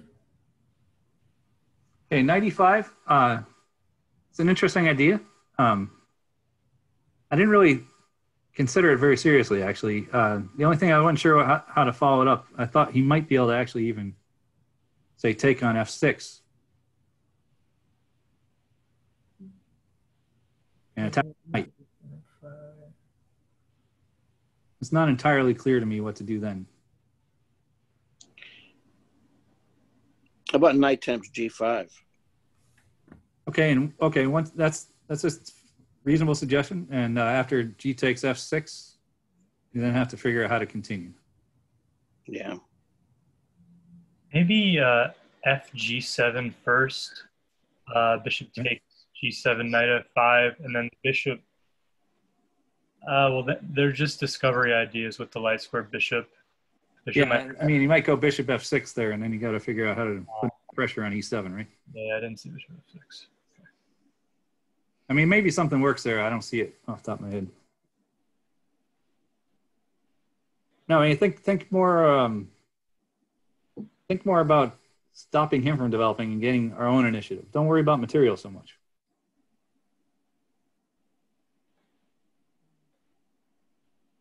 You're coming close. Not quite there.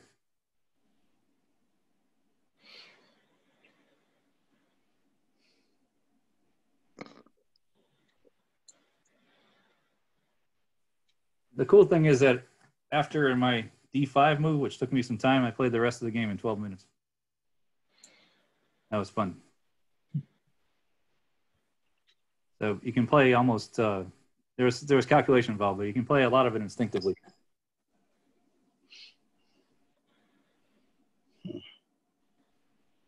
We want the E file, right? Right. So clear the E file. How do you clear the E file? Bishop F1. Okay, how about more aggressive? Um,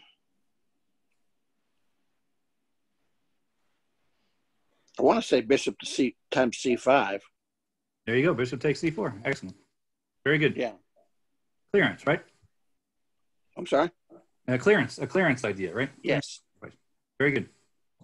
Yep. And after bishop takes c4, uh, yeah, d takes c4 didn't work either because the rooks come to the d file and e file and kill the king. Okay. Now simply we take on e7, he takes back, and then we get our knight f5 move, right? That's how the game went. So think about it, okay? I mean, white is still uh, down two pawns, but black can't castle, right? And a serious threat on e7 is coming. And it's not even clear how, how black can defend, right? So he played pretty much all he could do at this point. He played king f8. Pretty sad move to have to play, right? All right. So now, what's what do we do?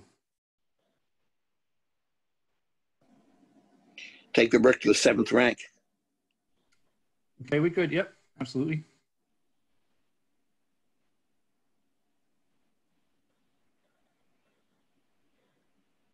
Let's see, I'm trying to remember what, what I did. Yeah. Hold on one second. Let's see. Yeah, so I took knight takes e7. I took with a knight, actually. All right, now he's actually down material, but the thing is, what he was counting on is getting some kind of counterplay against my h2 pawn or something. He played this. Okay.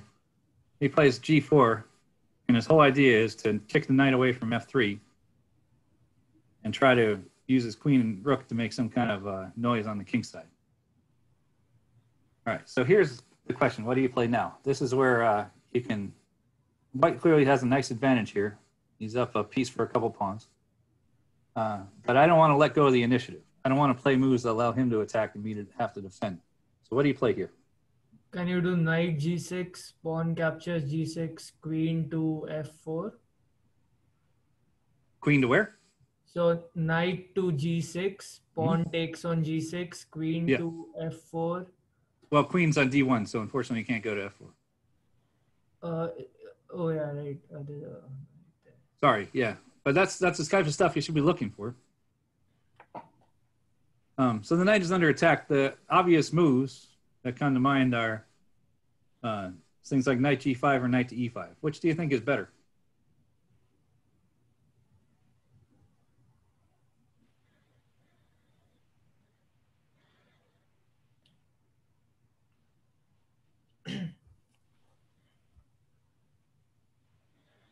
Knight to G5 opens up a line on the king. On whose king? the black king. Then the knight to G5 check. Well, yeah, knight G5. It doesn't. I I'm don't, sorry, knight to G6. yeah, Uh, but knight to G5. Then knight to G5. Yeah, so let's compare the two. After knight to G5, um, you might have knight G6 check, but I'm not. It's still not clear. Okay, he, he can't take because the queen would be. But but after knight G5, which is a good idea. Um, black has something like queen to D6, which not only gets the queen out of the forking square, but it counterattacks. It covers G6 and it counterattacks on H2, right? Mm-hmm. Okay, and that suddenly back on his heels just a little bit. There's absolutely no reason if we don't have to to allow white black any kind of counterplay. So let's compare that to knight to e5 and see which we like better. So we play knight to e5. Uh, all of a sudden, you know, it gums up the work, so there's no attack on h2. You're threatening things like, uh, you know, maybe either knight to g6 check, queen g4, even under certain circumstances, knight takes c4. Um, and the only question really is, with all these threats, you know, even, you know, heck, knight c6 might be good. The only question after knight e5 is what happens on queen takes e7.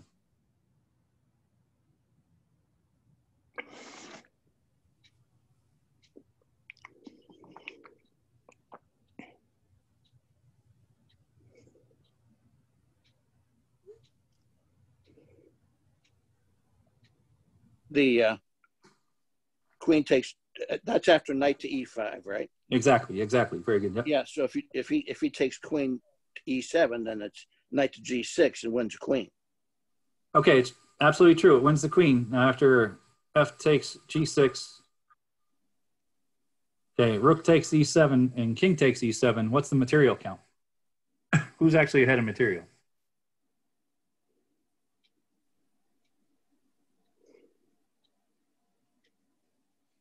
Hmm.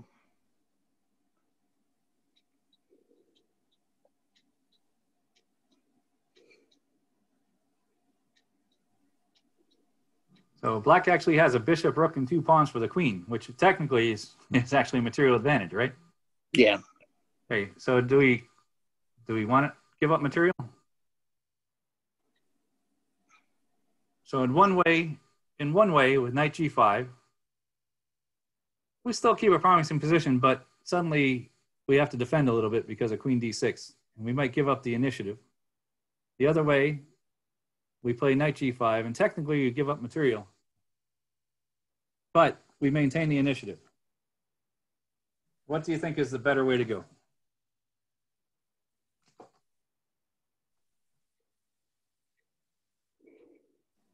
Keep the initiative. Absolutely. Bingo. 95 exclamation point. It might be even that the engine evaluates those two moves as roughly equal, but from a human perspective, keeping the initiative is absolutely the right way to go. We don't care about the material so much because in the end, even though Black has more material, his king's out and wide open. And actually, I noticed another little trick that meant they had to give some material back anyway. But even without that trick, White is just simply much better. He took, he takes e7, knight g6 check, takes, takes, takes. And here we've got this horrible lonely king on the middle of the board. All I have to do is get my rook involved and the game's over. Okay, so let's make sure now, don't forget, one of my problems was I didn't have that strikeout pitch. You know, use a baseball analogy, right? Tactically not so gifted. I can't tell you how many times I have positions like this against better players and let them off the hook. How do we finish this guy off strong? What do we play right here?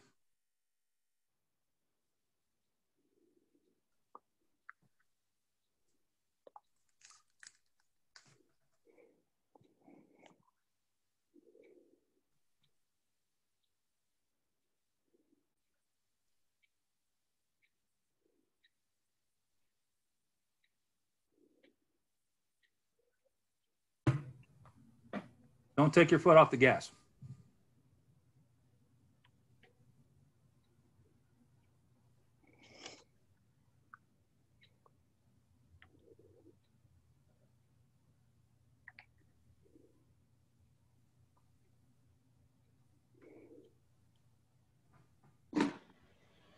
Well, it's queen to e1 check. Definitely a possibility. But how does that actually help get air? Our pieces coordinated and our rook and queen into the game? Um, It doesn't, right? no, it doesn't. Exactly. But that's a it's a good first thought. Because it's a forcing move, it's a check. Okay, the other obvious move is queen takes g4 Right. with rook e1 check follow, right? That makes sense. but I noticed something better. See if you guys can find it. What's the best move?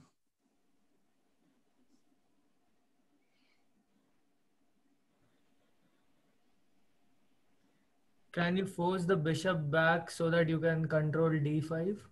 Bingo. Nice suggestion. Who is that, by the way? Uh, Jay. Jay, nice. Nice call. Exactly. B3. B3. Yeah. If the bishop moves back, then queen takes d5 is devastating. Because now the queen's playing center field, the king is even more wide open, and rook e1 check is coming, right? Right. So the sad truth is that black couldn't even move that bishop. He needs to cover d5. He just needs to cover d5. So he actually had no choice but to sacrifice his bishop. Okay, but still, even here, after rook f d8, yeah, I know it sounds ridiculous, but I could screw this position up. You have to still play actively and precisely, at least reasonably precisely. So let's still finish him off. What's the next move? Queen to E3. Okay, queen e3 is not bad. King d6 covers the c5 pawn. Uh, probably a winning move. I think I, if I remember right, what I did was I decided to play with both my pieces. Rook to E1. And I believe, okay, actually, I did play queen e3. Sorry, I apologize. Okay. Rook e1 is another good move. Oh, the reason I played this is I found a very specific reason it. So it's, it's a good suggestion. And uh, after king d6 to stop him from rolling his pawns. King d6. And uh, what would be the follow up? So who suggested queen e3? Can you find the follow up? Uh, queen to F4. Queen to where? Sorry. F F4. Oh, F4, check, yes. Okay, not bad. No, not bad at all. Okay, so you, you absolutely are on the right track. Um, I played something slightly different. I played queen to D3 because that allowed me to get my queen in diagonally one way or the other. Oh. Um, he found nothing better than to play c4. Queen here. Took here. And I didn't take this pawn because I wanted another pawn. I took it to be able to get at the king in the dark squares. I want to be able to play queen e7 or c7 here. Check. And actually, he played b3 if I remember right. And now I calculated the rest of the game till mate. See if you guys can do the same.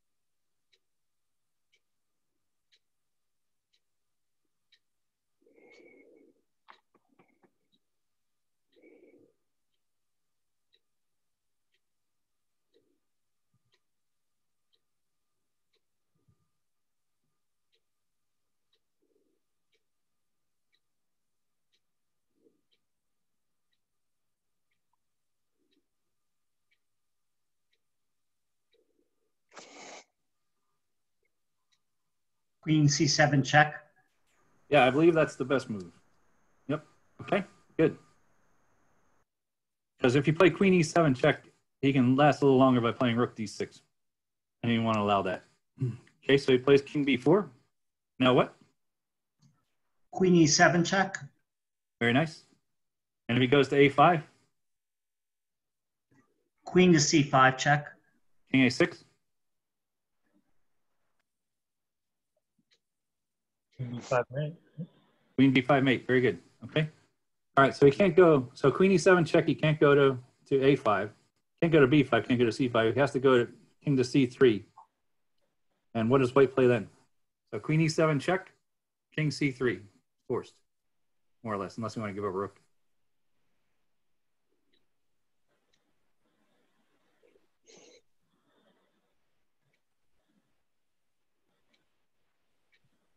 Um, Queen E1. Oh, sorry. Uh, sorry, I, I was thinking uh, Queen E3. Yeah, queen e3 allows him to go back to b4, right? Oh, okay. Yeah, so that's why the other suggestion, I believe that was Jules. Was that you, Jules? Yeah, I said Queen E1. Queen e1, very good. Queen e1 checks the key move. If he goes king d4, then, then what do you do? Queen E3 mate. Exactly. So king c2 is really the only move. And then how do you finish him off?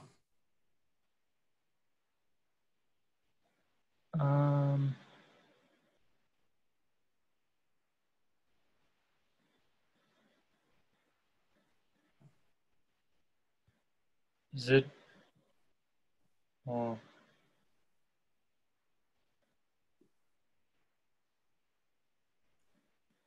oh, uh, Rook C1. Okay, very good. King b2. Um, yeah, Queen D2 King a3. and Rook A1. Bingo. Very nice. King e7 check. King c3. Queen e1 check. And he saw us coming. He actually resigned here. But if we continue on, we get king c2. Rook here. Here. Forced. And mate. So, as you might imagine, that was a, big win for me. Because not only did I calculate well, but I also judged the positions well and played pretty well with the initiative. Um, so I was very happy after that, and it shows that I was learning at least from my losses and my failures, which I think is very important. So I'd like to go on now to the next example. Um, sorry. We have two more. Um, this game is actually the last tournament game I played, and then I'd like to show one more after that if people are okay with it. Um, so here is a game. It's actually against an up and coming kid named uh, Peter Theodore Boris. I don't know if anybody knows him. Uh, he's 2100, but he's only like 12 years old or something like that. He's climbing rapidly. And uh, another example of uh, shows a good example of how I've learned over the years to do better with the initiative. So here we go. Let me uh, see if I can first change the settings here. Whoops. Not what I intended to do.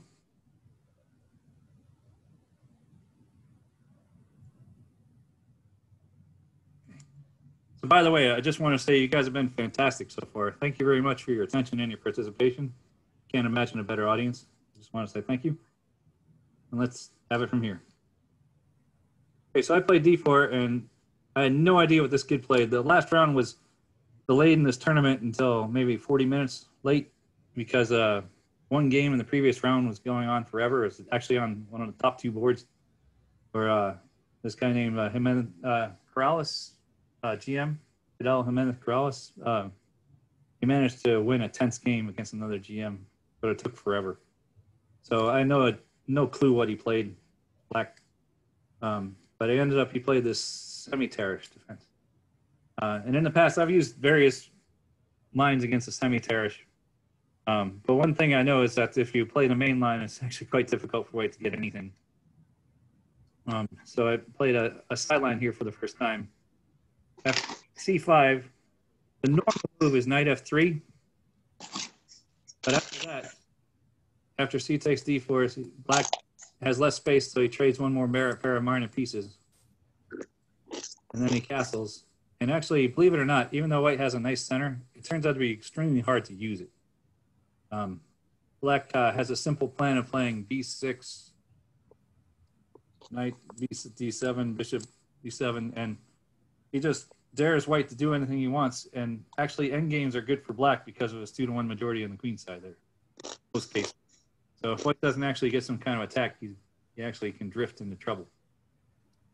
So what I do and what I did in this game for the first time was play this uh, sideline of rook b1.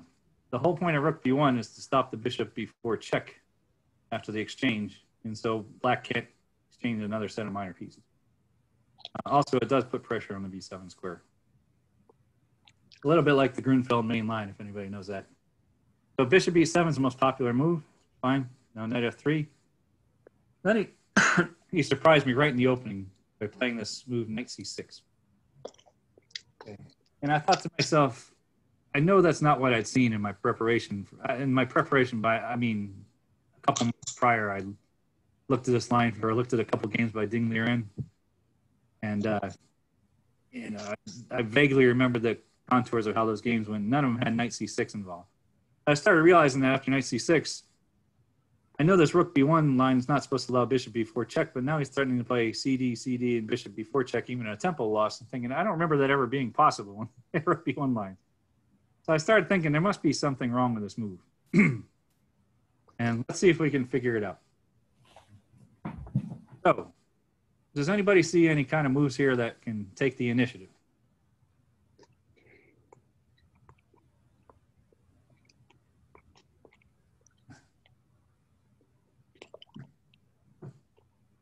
D5. Yeah, D5. Now, what's so special about D5? I mean, the biggest thing is that if you notice, this knight here is kind of dominated by this knight here. You can't play the knight to a nice central square like E5 or D4. Um, so it means that the knight after D5 is pushed away somewhere undesirable, right? Let's try to reason it out. So after D5, it's probably best advice to take. So E takes, E takes. And then where where should we look at first? Where should the knight go?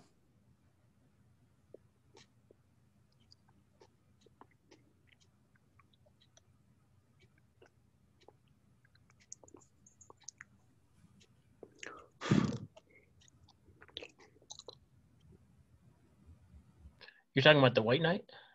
No, after uh, after D5, E takes, E takes. The black knight is attacked. It really has to move. Where should it move to? A5. Yeah, A5 is the first move I looked at because it, at least it keeps the knight in play rather than having to retreat to B8. But those are the two possibilities, right? A5 and B8. Right. So after knight A5, what does white do to keep the momentum? Uh,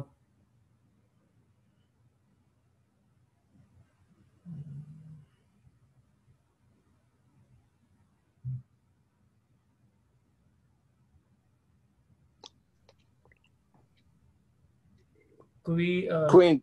to- queen to A4 check. Yeah, queen A4 check is okay. Um, I was actually, I, I switched the moves a little bit in my mind. I had bishop B5 check first. No, bishop B5 check, bishop to D7 is the most reasonable move, right? Right. And then what? Then your queen A4 move, right? Hmm. And the threat now after queen A4 would be bishop takes D7 check. And if queen takes D7, what would happen?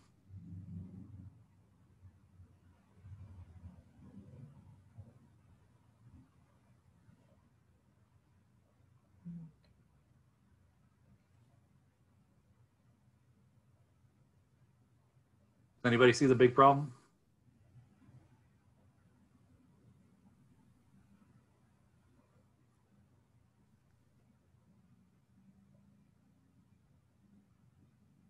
What's protecting the knight on A5 now? It's hanging. It's hanging, right? Yep. So after queen takes, you go queen takes A5. So in reality, after D5, E takes D5, E takes D5, knight A5, bishop B5 check, bishop D7, queen A4. Black's best is just play bishop takes B5 check, queen takes B5 check, and then move the king to F8. Now, at that point, there's no more forcing moves really. How would you evaluate the position? Would you rather be white or black?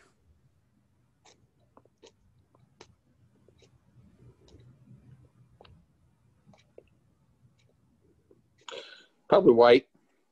Yeah, I mean, look at the coordination. Of course, right. You're gonna have a pat. You're gonna have a center pass pawn. You're gonna have right. your your B file's gonna be open. Very good. Yes. So you force this king move so he can't castle. Yeah. You've got active pieces everywhere. You've got a pass deep on. And the big thing is he's going to have problems getting this rook into play for quite a while, right? Yep. So clearly in an open position, you really don't want your to move.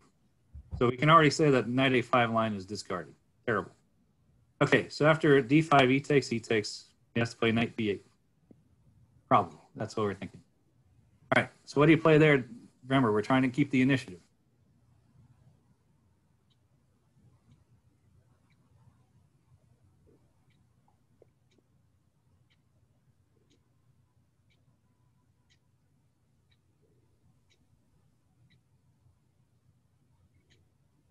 Does uh, bishop f4 work um, with the idea of d6? Uh, not a bad idea. If I just castle, though. Oh, d6, uh, bishop f6 then. Yeah, exactly. Hmm. Yeah. Not, I mean, I'm not saying it's terrible, but it. I don't think you can say White's winning there. Let's let's try more forcing stuff.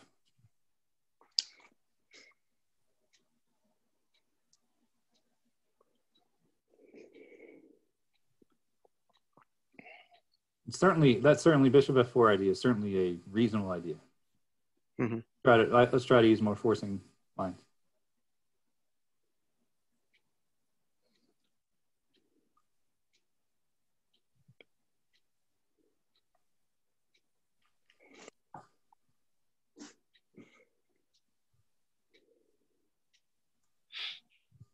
Um, how about uh, bishop to b5 check? Yeah, we got to look at that. Very good suggestion. Nice. Okay, now let's at least take a look. What are Black's options? Okay, his knight's on b8. Remember, he can move his king, but we already know it's just a, a victory for for White. I mean, not a one game, but it's a big concession for Black.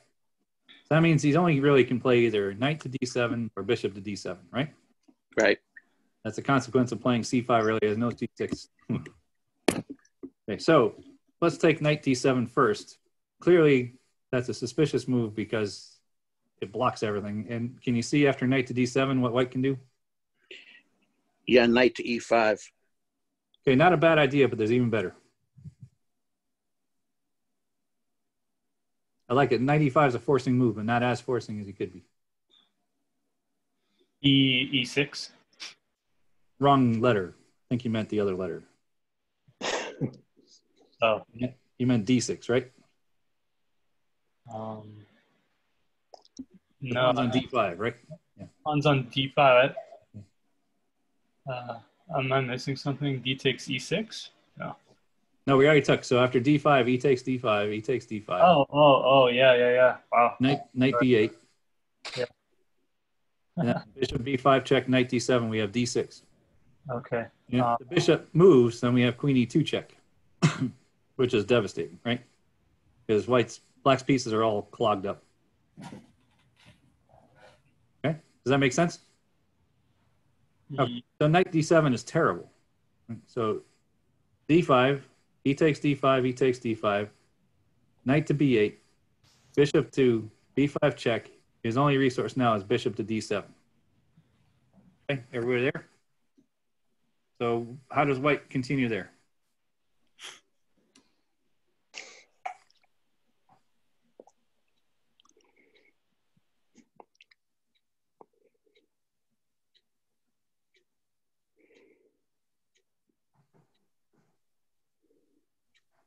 D6 threatens a bishop. That is true, actually. But the problem with that is that I can actually play bishop takes b5. Uh-huh. Uh, and when you take on e7, I take queen takes e7 check. And actually, oh, I have a little problem with white because I can't even block on E e2. Yeah, but see, once the bishop, the, the white bishop moves, doesn't uh, B7 drop with the rook? Well, yeah, well, let's think about this. Clearly, that way, white's sacrificed the pawn already. His queen's on the queen's on e7, so that would Mhm. be b7 pawn, right? And then, Yes. But think about, um, you're thinking about good. You're thinking about forcing options, which is very good. But we, we haven't talked about the most forcing of all options, which is what's the most forcing move in that position? Not d6, not um, I can't remember what other move was suggested, but okay. So with the bishop b5 check, bishop d7. What's the most forcing move on the board?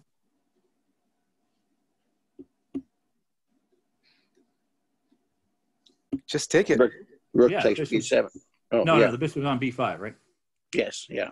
bishop takes d7 check, right? It's the most forcing move on the board. Let's at least take a look at it. So black has two recapture possibility, right? You can play it takes knight takes d7 or queen takes d7. Uh, you can see what's wrong when knight takes d7 right away, right? Mm-hmm. What what is that? It was something you just mentioned a minute ago. Rook b7. Yeah, rook takes b7. You lose a pawn, right? Very good. Yes. Okay, so now we know maybe that's not completely fatal, but it's certainly not desirable for black. So it's nice that we noticed after bishop takes d7, he has to play queen. Queen takes d7. All right. So he's still pretty backward in development. Can you think of another aggressive move? If you want to play aggressively here, what do you play? So queen's taken on d7. That's right. So we'll go through the moves again. It's d5, he takes, he takes, knight b8, bishop b5 check, bishop d7, bishop takes d7, queen takes d7. Knight to e5. Yeah, knight e5 is begging to be played, right? Attack the queen. Yeah. If he plays a move, a normal move like queen c7, what's the follow up? Mhm. Queen to d a4. Yes, queen a4. Very nice. Nice job. Excellent. Queen a4 check. Now we've got a knight on e5 and a queen on a4. And if he doesn't want to move the king, which is ugly, and he, he blocks on d7 with the uh, knight, at the very least, we can liquidate with knight takes, queen takes, queen takes, check, king takes, and rook takes b7 check, right? Right. And a pawn, and we're kicking the king around. Does everybody see that? Yeah. So a normal move like queen c7 is just no good after knight e5. So what would black play after knight e e5?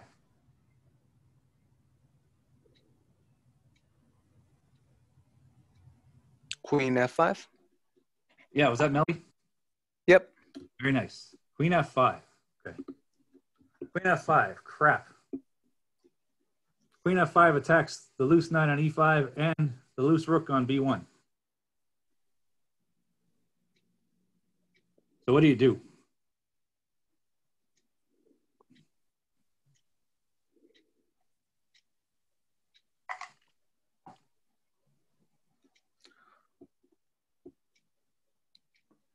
Well, you have a check on a4 if you want, right? Yeah. To prevent him from castling.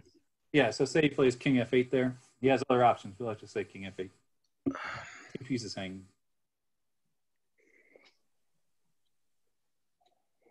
Hmm.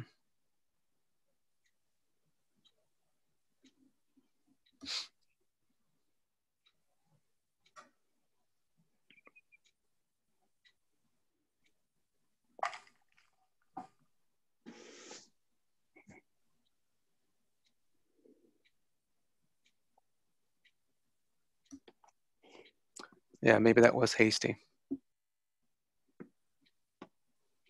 So let, us talk about this for a second because we're all trying to improve our initiatives play, right? Even though I know some of you are out there are better with it than I am for sure, but we can all we can all improve. so what's your gut feeling after 95 queen f5? Do you feel that white's overpressed his hand? That there probably has to be something there for white or something in between?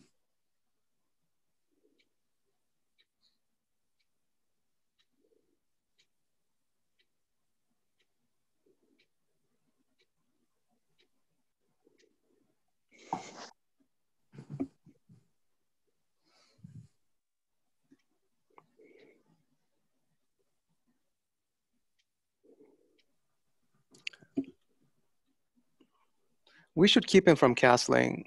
Um, you know, material is secondary for sure. Okay, so we play queen a4 check. He plays king f8.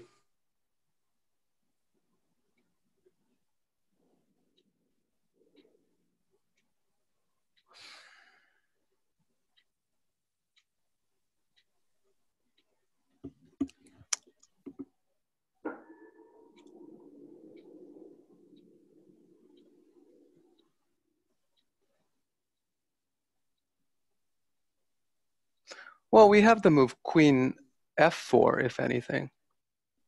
Yeah, what's the right? Because if you take on b1, obviously queen takes f7 is mate. That's right. But I, I'd rather mate you than go into an ending. Well, but maybe mate's not possible, right? If But- not, then I'll play queen queen f4. Yeah, so think about it. Queen f4, if he trades queens, for instance, then you have a huge lead in development in that ending? More active. Yeah, it still looks very good. Yeah, I mean, I'm not going to sit here and say black is dead lost, but which side would you rather be? Oh, white's doing great. White's doing For great. sure. Yeah, exactly. So that's very nice. Um, now the thing is, what about other moves along the way? What about uh, after queen a4 check? What about king to d8? Then there's no more mate.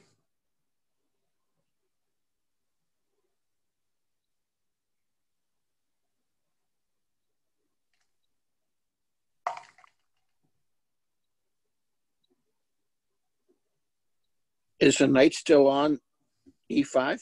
Exactly. That, that's right. Thanks for sticking with it. I know it's uh, not so easy at nine, 10 o'clock at night to visualize. It's fun though.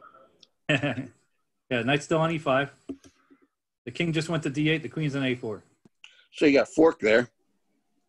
Yeah, how? I mean, if you Rook play and, knight takes f7, fork on uh, F7. I mean, right? yeah, but the F7. queen, the queen's on uh, the black queen's on f5. So if you play knight takes f7, Oh. I'll just play queen takes f7.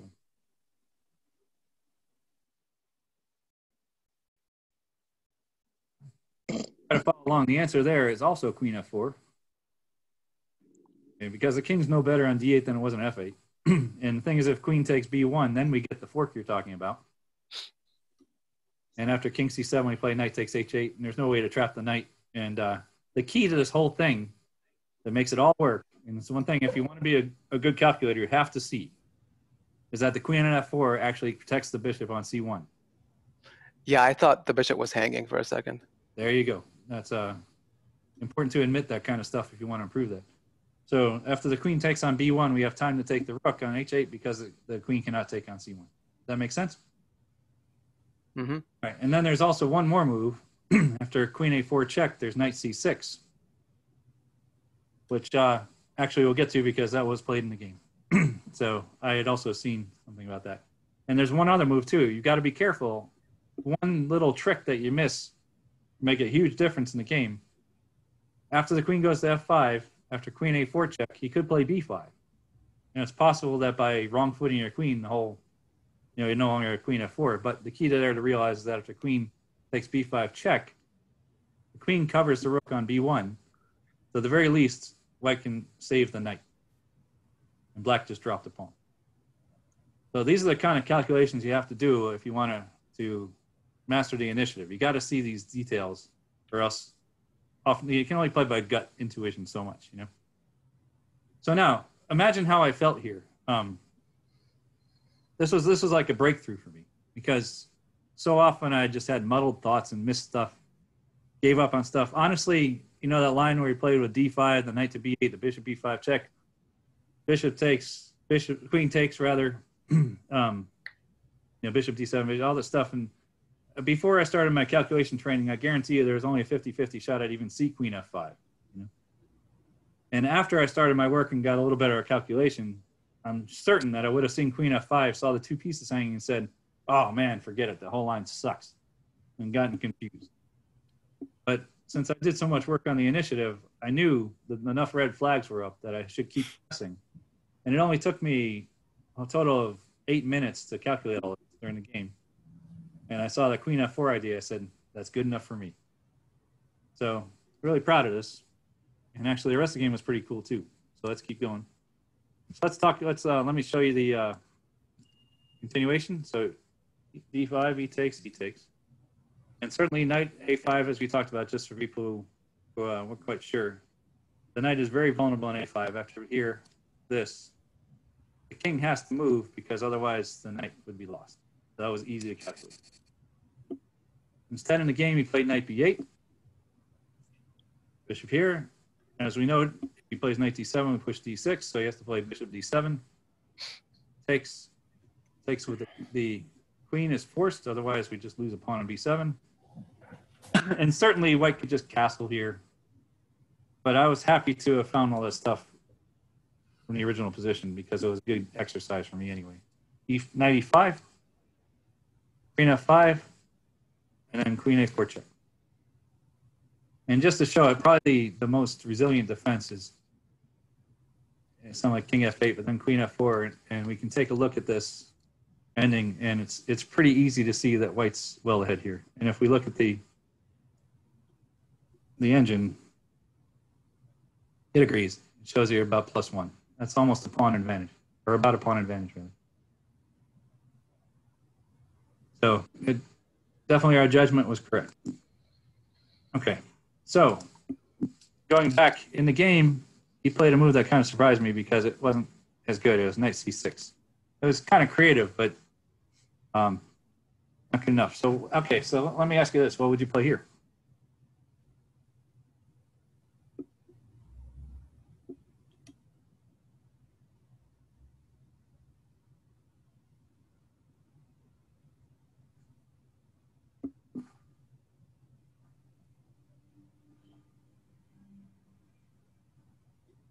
Oh, white is just winning after just pawn takes knight, right? Oh, pawn takes, uh, queen takes queen takes e5 check. bishop e3, Queen takes c3 check. king f1. Oh, actually, hang on. The Maybe the maybe just king e2. it. king e2 maybe is better. Uh, I was banking on c takes b7, and that pawn should be winning. Well, there's it might be. Um, that looks a little bit. Uh, let's say, I don't know, not so clear to me. Well, you bring your f rook to or h rook to c1, and then, uh, Mhm. the, and you castle artificially with you know king f1 eventually. Yeah, it's definitely a possibility, and I seriously considered it, but I found something I thought was much clearer.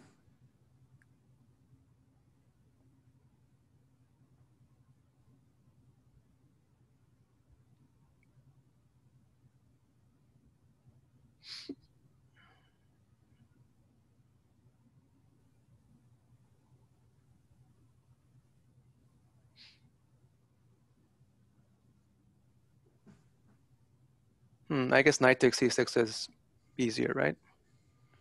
Okay, what do you play on queen takes b1?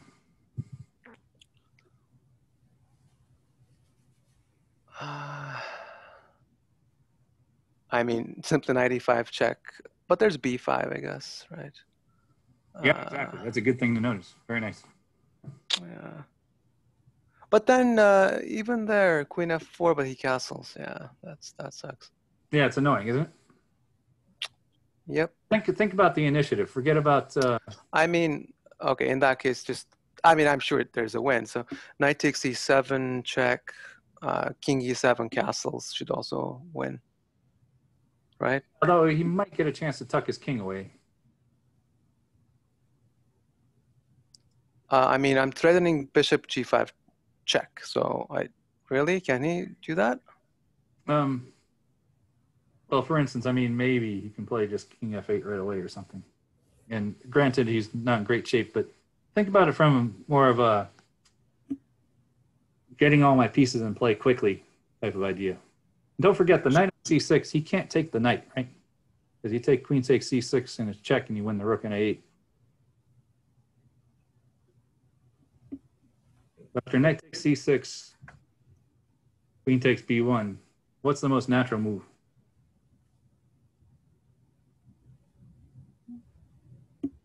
Castling is also possible. Exactly. Castling.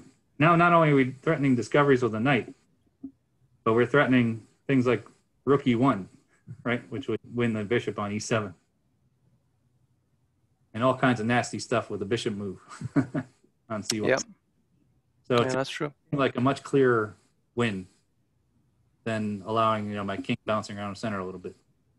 It might be true that both win, but I like keeping the initiative and having my king safe where his isn't. So, in fact, it's forced him. He played the right continuation after knight c6. Queen takes b1 castle. This move took me about three seconds. And then uh, with a big threat of rook e1, and he realized the best thing he could do is just give up the material and he castled. Well, first he played b5, actually. Sorry. Uh, I also noticed that on f6 he lost. Um, the idea behind f6 was something, was something I calculated on rook e1, he can take the knight because his king can tuck on f7 and his rook on a is defended, right? So what do you play here?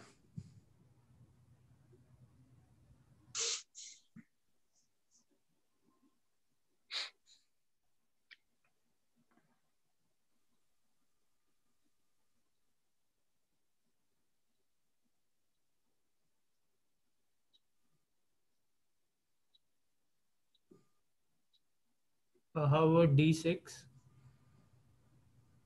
Um, d6 right here. Let's see. Probably not bad. How about rook E e1? Yeah, rook to e1. Knight takes e7 is easy, right? Yeah, rook e1 might not be bad either. Um, the problem with rook e1 is simply that it, it, he might it might still be fine. He goes here and his rook is protected. Now you can go here, it gets a little bit more messy, rather. You know, it's a king over here. There's no good discovery of the bishop. You can take the bishop, but it's not as obvious to me that that's winning. But in the interest of the initiative, all you have to do here is take knight takes e7. And when king takes, now d6 check, and you're just making it so the king is completely wide open, right? Uh, he can't take the pawn because of bishop f4 check. so he has to go, say, king d8. And then his king is just is completely caught in the crosshairs. He will not survive. So this to me is uh, the cleanest win you can get after f6.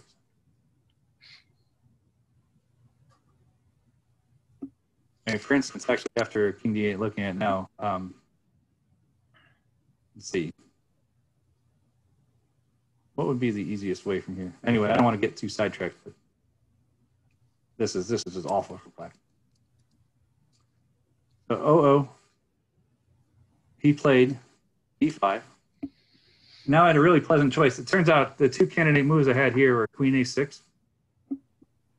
Okay, because you're threatening queen b7 then, which would attack the rook and the bishop. Or queen g4. And honestly, the only reason I didn't play queen g4 is because of this continuation, queen g6, and giving up uh, two pieces for rook, but getting to an endgame where I thought he might have a little bit of annoying chances to hold, uh, just because his king is actually quite active. So I chose queen a6. It turns out that there was another move that I noticed that a friend of mine saw. Uh, queen f4 actually is the best, but queen a6 is perfectly good enough. And because of the threat of queen to b7, he really doesn't have anything better but to just give up the material. He casts. If he tries to play bishop f6, for instance, then he just gets slaughtered rook e1, king here, and queen here, and it's just over. He gets mated. Checkmate. So he did the right thing and castled, and I took here. Check. It's always nice to take a piece of check. All right. So here's the next problem, okay? You want to keep going without giving up any initiative. I've got two pieces for a rook. I think two pieces, one, two, three, four. Yeah, two pieces for a rook and a strong pass d pawn. So this guy is obviously the thing that's going to win me the game. But the one thing white doesn't have is any anchor points for minor pieces. Let me ask you this critical question. Once you get this nice advantage here, how do you continue without letting it slip?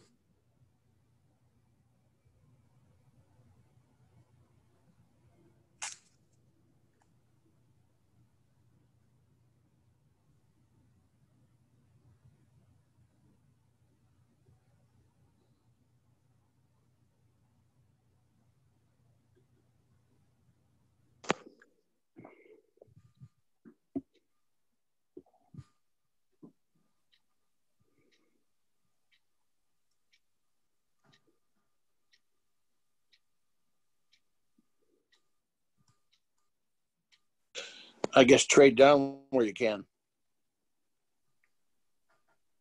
It's not too bad an idea. Um, the, the thing that you want to do is coordinate your pieces and um, try to find an arrangement where they're all safe and working together. And they also So- hopefully help advance the d pawn. Amazingly, there's no great discoveries. I spent some time looking at bishop h6 and it just doesn't do anything. Badly.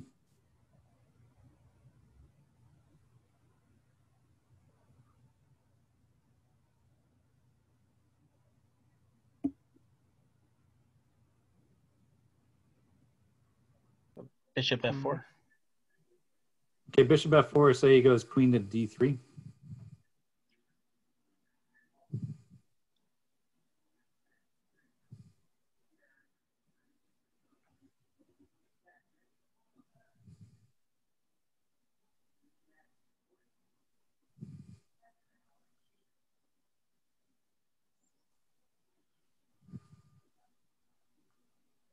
There, probably d6 isn't bad at all, huh? But um, Bishop E e5. bishop e5, he might have f6. Bishop E3. Yeah, bishop e3 is what I chose in the game. Now, why do you say bishop E e3? Can take the C5 pawn, also protect the knight.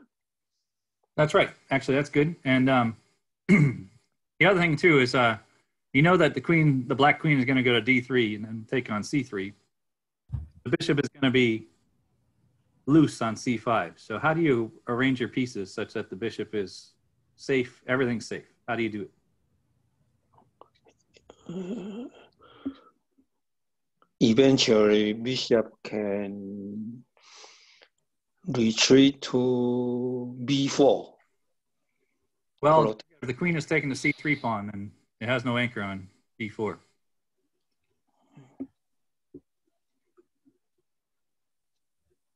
Yeah, the key to me was when I found that uh, this arrangement where you have the bishop on c5, protecting the knight and helping to advance the pawn, and the queen on c6, protecting, protecting the bishop, and the knight covers the c8 square so the queen cannot be harassed by any rook c8. So before we move on, I have a question. Sorry, Doug, Yeah, yeah, go ahead. cut you off, Jeff. But No. did you look at the variation bishop g5, queen d3, queen f6? So you can't take because it's mate, right? Yeah, so queen point. takes queen takes uh, d5 also not possible because knight That's covers true. it. Mhm. And I want to play knight f5 next. You still can't take because uh, g takes f6, bishop takes f6, king g8, knight h6 would be mate. Yeah, that's a very nice idea. Let's see if we can refute it. I didn't really look at it because I didn't see the queen f6 idea. So bishop g5, queen d3 looks best. Queen f6, interesting idea, for sure. Or queen e4. I'm not sure which one's better. Yeah, maybe since I'm not attacking c5 with the bishop, might as well play queen e4. Um, but the question is, from either place, how can you actually stop this stuff?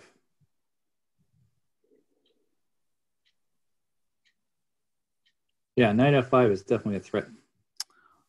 Uh, h6 might hold, actually. Let's see. So bishop takes h6, But then you take the queen. and they take the queen. Yeah, exactly. Ah, a shame. that might be the Good only try. way to defend Let's find out. there's nothing else. There's no problem with finding out, right? Uh, let's just put it on e4. Yeah, these kind of passive sacrifices are really difficult because black has so many parent options right now. Um, see if there's anything other in h6. Black has only one move, like a window of one move to defend. Otherwise, knight f5 will decide the game. Yeah, probably. A- and he has h6, so that that is.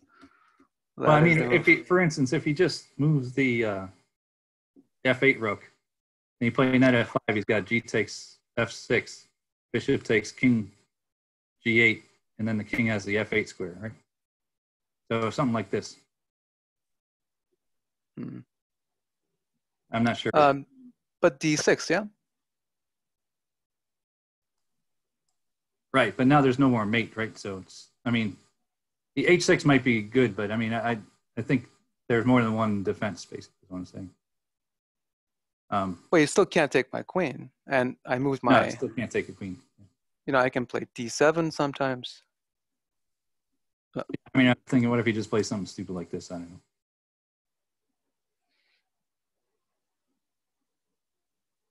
It's not exactly clear what White's next move is. But I think your original idea was even better. I think h6 probably is the best. Yeah, I think that's when you stop looking at it with white when you see h6. Let's check it out with the engine, see if the engine shows us whether we're right or wrong. 'Cause honestly, I didn't look too much with this as with an engine. So bishop e3 is the best, but let's see what it says about bishop g5. Oh, it does win. It does win, yeah. Queen h6 so what? Queen f4. Ah, that's clever. Yeah, of F4. course, Queen f4. Yeah. Yeah, of course, Queen f4. Because if you play d6, you just win the game. That you know, that's that's the Yeah, so idea. queen f4, and then you take it, he takes back, and you're just going to win with your extra material. Um, yeah, but black could have played queen d3 instead. Anyway, I don't want to derail you too much no, from that's okay. This is fine. thing, This is, this is important stuff. We see ideas. Ideas are great. Queen d3, then the queen Okay, then you cannot play queen f6, yeah, because of it. because Yeah, very good, h6. very good. and now there's nowhere queen f4. Interesting. That's pretty subtle. I mean, there's queen f4, but it's not as good. But you're still better af even after even even when you drop a piece. It's it's your position is Even- that good. I know, isn't it amazing? Yeah. That's very creative, Melly. That's exactly what you should be looking for. I uh, have to admit, it was tough for me to look Thanks. at stuff like that after getting a material winning advantage. It's a psychological issue, for sure. But I found what I thought was a pretty safe way to arrange my pieces that won, so I didn't look any further. um, so I played bishop e3, you played queen d3. Bishop takes, queen takes, and I figured even though it opened up the file for the rook, which looks ridiculous, I thought he actually had more counterplay with the b, b pawn, so I took the pawn finally. Probably one of the toughest decisions of the game. He played rook eight, and I played queen c6. Now my constellation is complete. okay. Um, he really can't assail this formation here in any which way. Everything's protected. All right. So he plays queen to d3. All right. Now what does white play here? Anybody?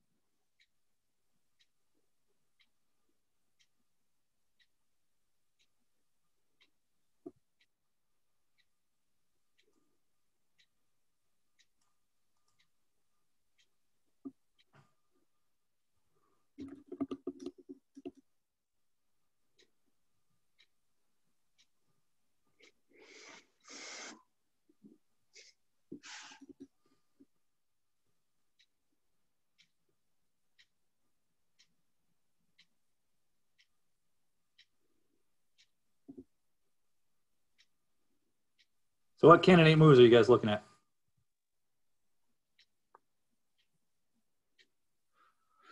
So I was looking at d6, but rook b1 is probably winning for but for the wrong side. very good, very good. It's it's very easy when you're sort of uh, got a plan of attack, an advantage with the initiative, to forget about your opponent. You know, your opponent actually has a huge threat here, rook b1. But you're right. If I play d6, rook b1 wins the game for black. Um, okay, so good. So noticing these threats is very important. Could throw away an entire game. So what do you play? h3 with a sly smile. Yeah, exactly. There you go. Why, why is that better in G3? Uh, it's just, uh, I mean, it's less weakening, and I have a dark squared bishop. It's just, I don't know. It's just common sense. Specifically, you see that rook b1, rook takes, queen takes, king g2, queen e4 check, and suddenly you start getting bounced around the light squares, right? True. Uh, he he doesn't have any checks after h3 instead. Yeah, exactly. So h3 is clearly the better move. In fact, g3 you might throw away the win as well. Okay, good. So now rook, rook b1 is no big deal. So he played rook d8. Okay, and uh, now I basically calculated pretty much the end of the game. Um, what, what do you think the right move is here for white? There's probably a bunch of good moves, but what do you think really hits the nail on the head?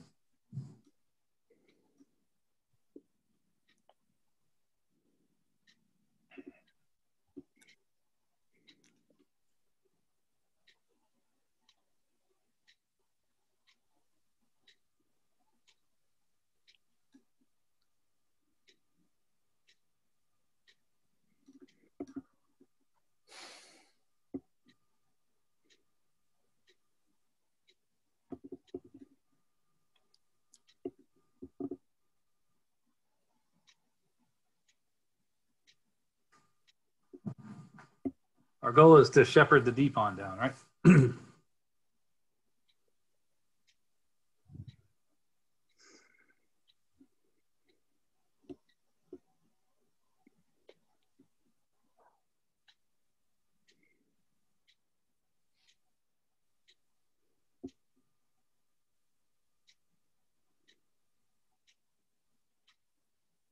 Yeah, so d6 or queen c7. Not sure which one's better.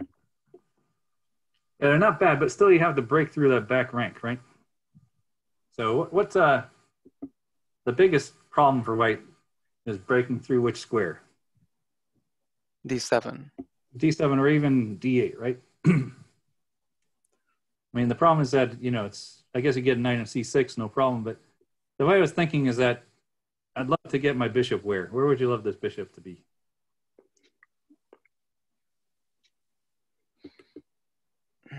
On c7. Yeah, C7 is a good move. Yeah, C7 is a good square. Yeah. And this diagonal, right? You like it to control D8, exactly, because that would break the blockade. If he can drive the rook away from the D file, then the pawn has pretty much an easy path, right? So the simplest move is simply bishop takes A7, because now you get the B6 square, right? And in fact, I calculated a nice little trick here that I wish he had fallen into because it would have been a better ending. Um, played rook A8, which makes sense. I played bishop b6. and now, unfortunately, he played a poor move. I mean, maybe uh, not as, there's nothing any better, but I was really kind of hoping he'd play rook a6 here. And did you see what I was going to play then?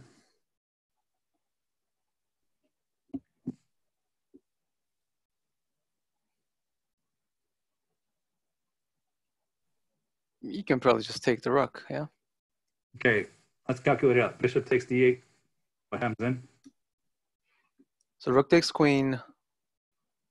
Um, d takes rook on c6. Queen takes d8. That's right.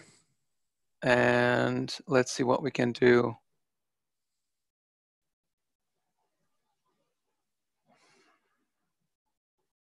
What's the easiest win? Um, rook b1 maybe. Yeah, rook b1 is a very good move, but I like rook c1 better. So now you're threatening Okay. c7, right? Yep. Okay, so his only try is queen to d2.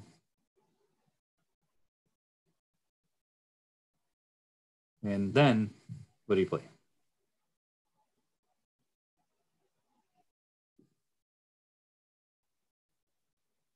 Then rook b1. That's right. And now if queen to d6, trying to stop both rook b8 check, mate, and c7. Knight d5. Bingo. Very nice. Let's take a look at that. So nice calculation, Millie. Thanks. So bishop takes d8. What's my plan? Takes, takes, takes. Now rook c1. I mean, I think rook c1 is the most precise, although I think rook b1 also wins. Um, but you're forcing him to play queen d2 here because c7 is just a terrible threat. Uh, if he obviously he plays queen c7, you got knight d5. So queen c7, now rook b1, which is a move I struggled. I didn't quite see it during the game. I saw it afterwards. Rook b1. Um, then um, he has no choice but to play queen d6 here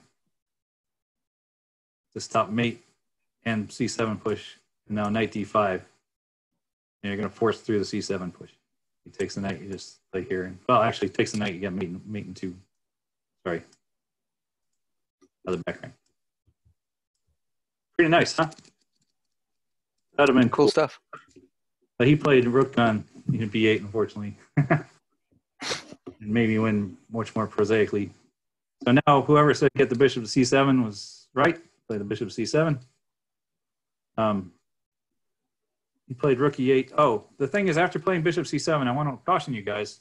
It seems like an innocuous move, but I had to calculate something first. If I play bishop c7, I had to calculate that um, queen takes f1 was not winning for black. After king takes, you can see that eventually the king can hide. Uh, but still, it's important to look at this stuff because you might easily miss a counterattack uh, thinking only about your own plans, right? They played rook e8. Now came the time for d6. Clearly, I'm threatening d7, but he wanted to make it so. Uh, I mean, first I want to probably move the knight, but he wanted to make it so he can at least take the knight. I played d7, so he played queen a3. Um, and now there was no reason to hurry now because honestly, he really has no threats whatsoever. I played rook to d1. In fact, the funny thing is, at first I was thinking maybe the easiest one was queen f3. But can anybody see the problem with that?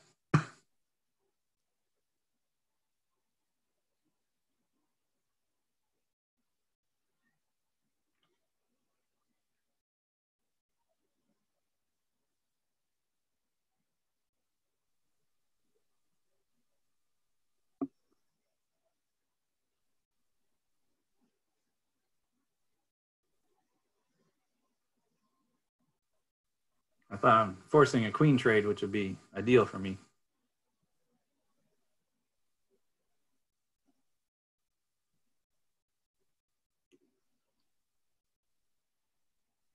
Yeah.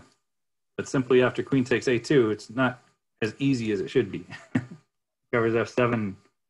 You can play d7, but then rook takes here. And if you go d8 equals queen, and I realized I'm a piece up, but there was actually something even worse that bothered me about queen f3. I can't remember exactly what it is, but um, even this is a little tougher to win than it should, should have to be. Instead of allowing any kind of counterplay whatsoever, after queen a3, rook d1 just consolidated everything. Uh, and if he plays rook takes e7, just take back, and he loses the rook. That's the problem with being having these back rank issues. They played uh, rook f8.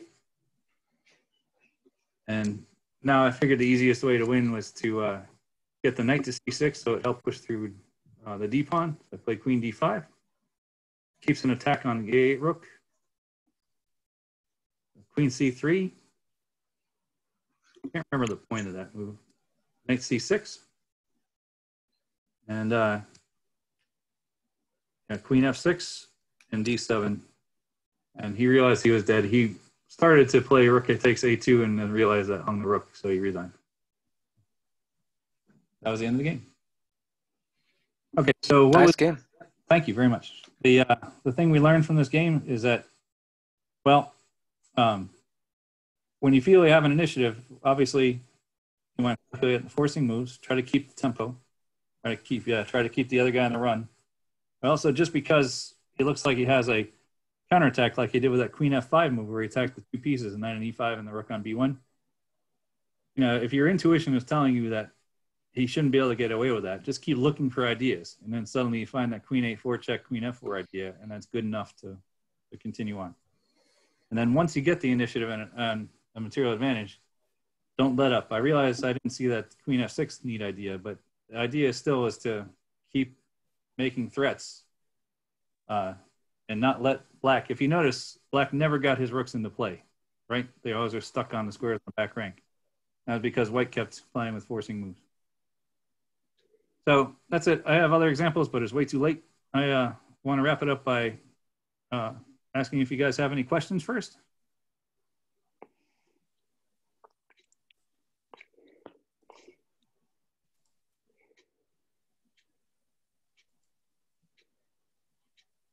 Yeah, we've gone over a lot of stuff. Anyway, if there's no questions, I just want to say thank you very much. It's very nice of you guys to listen to me. I hope you learned something. And I hope uh, at least it was a little bit entertaining. Thank you. And Thank you. Thanks a lot. Thank Thanks, you. Jeff. Thanks, Jeff. That was awesome. Thank you. Thank you. Appreciate it, guys.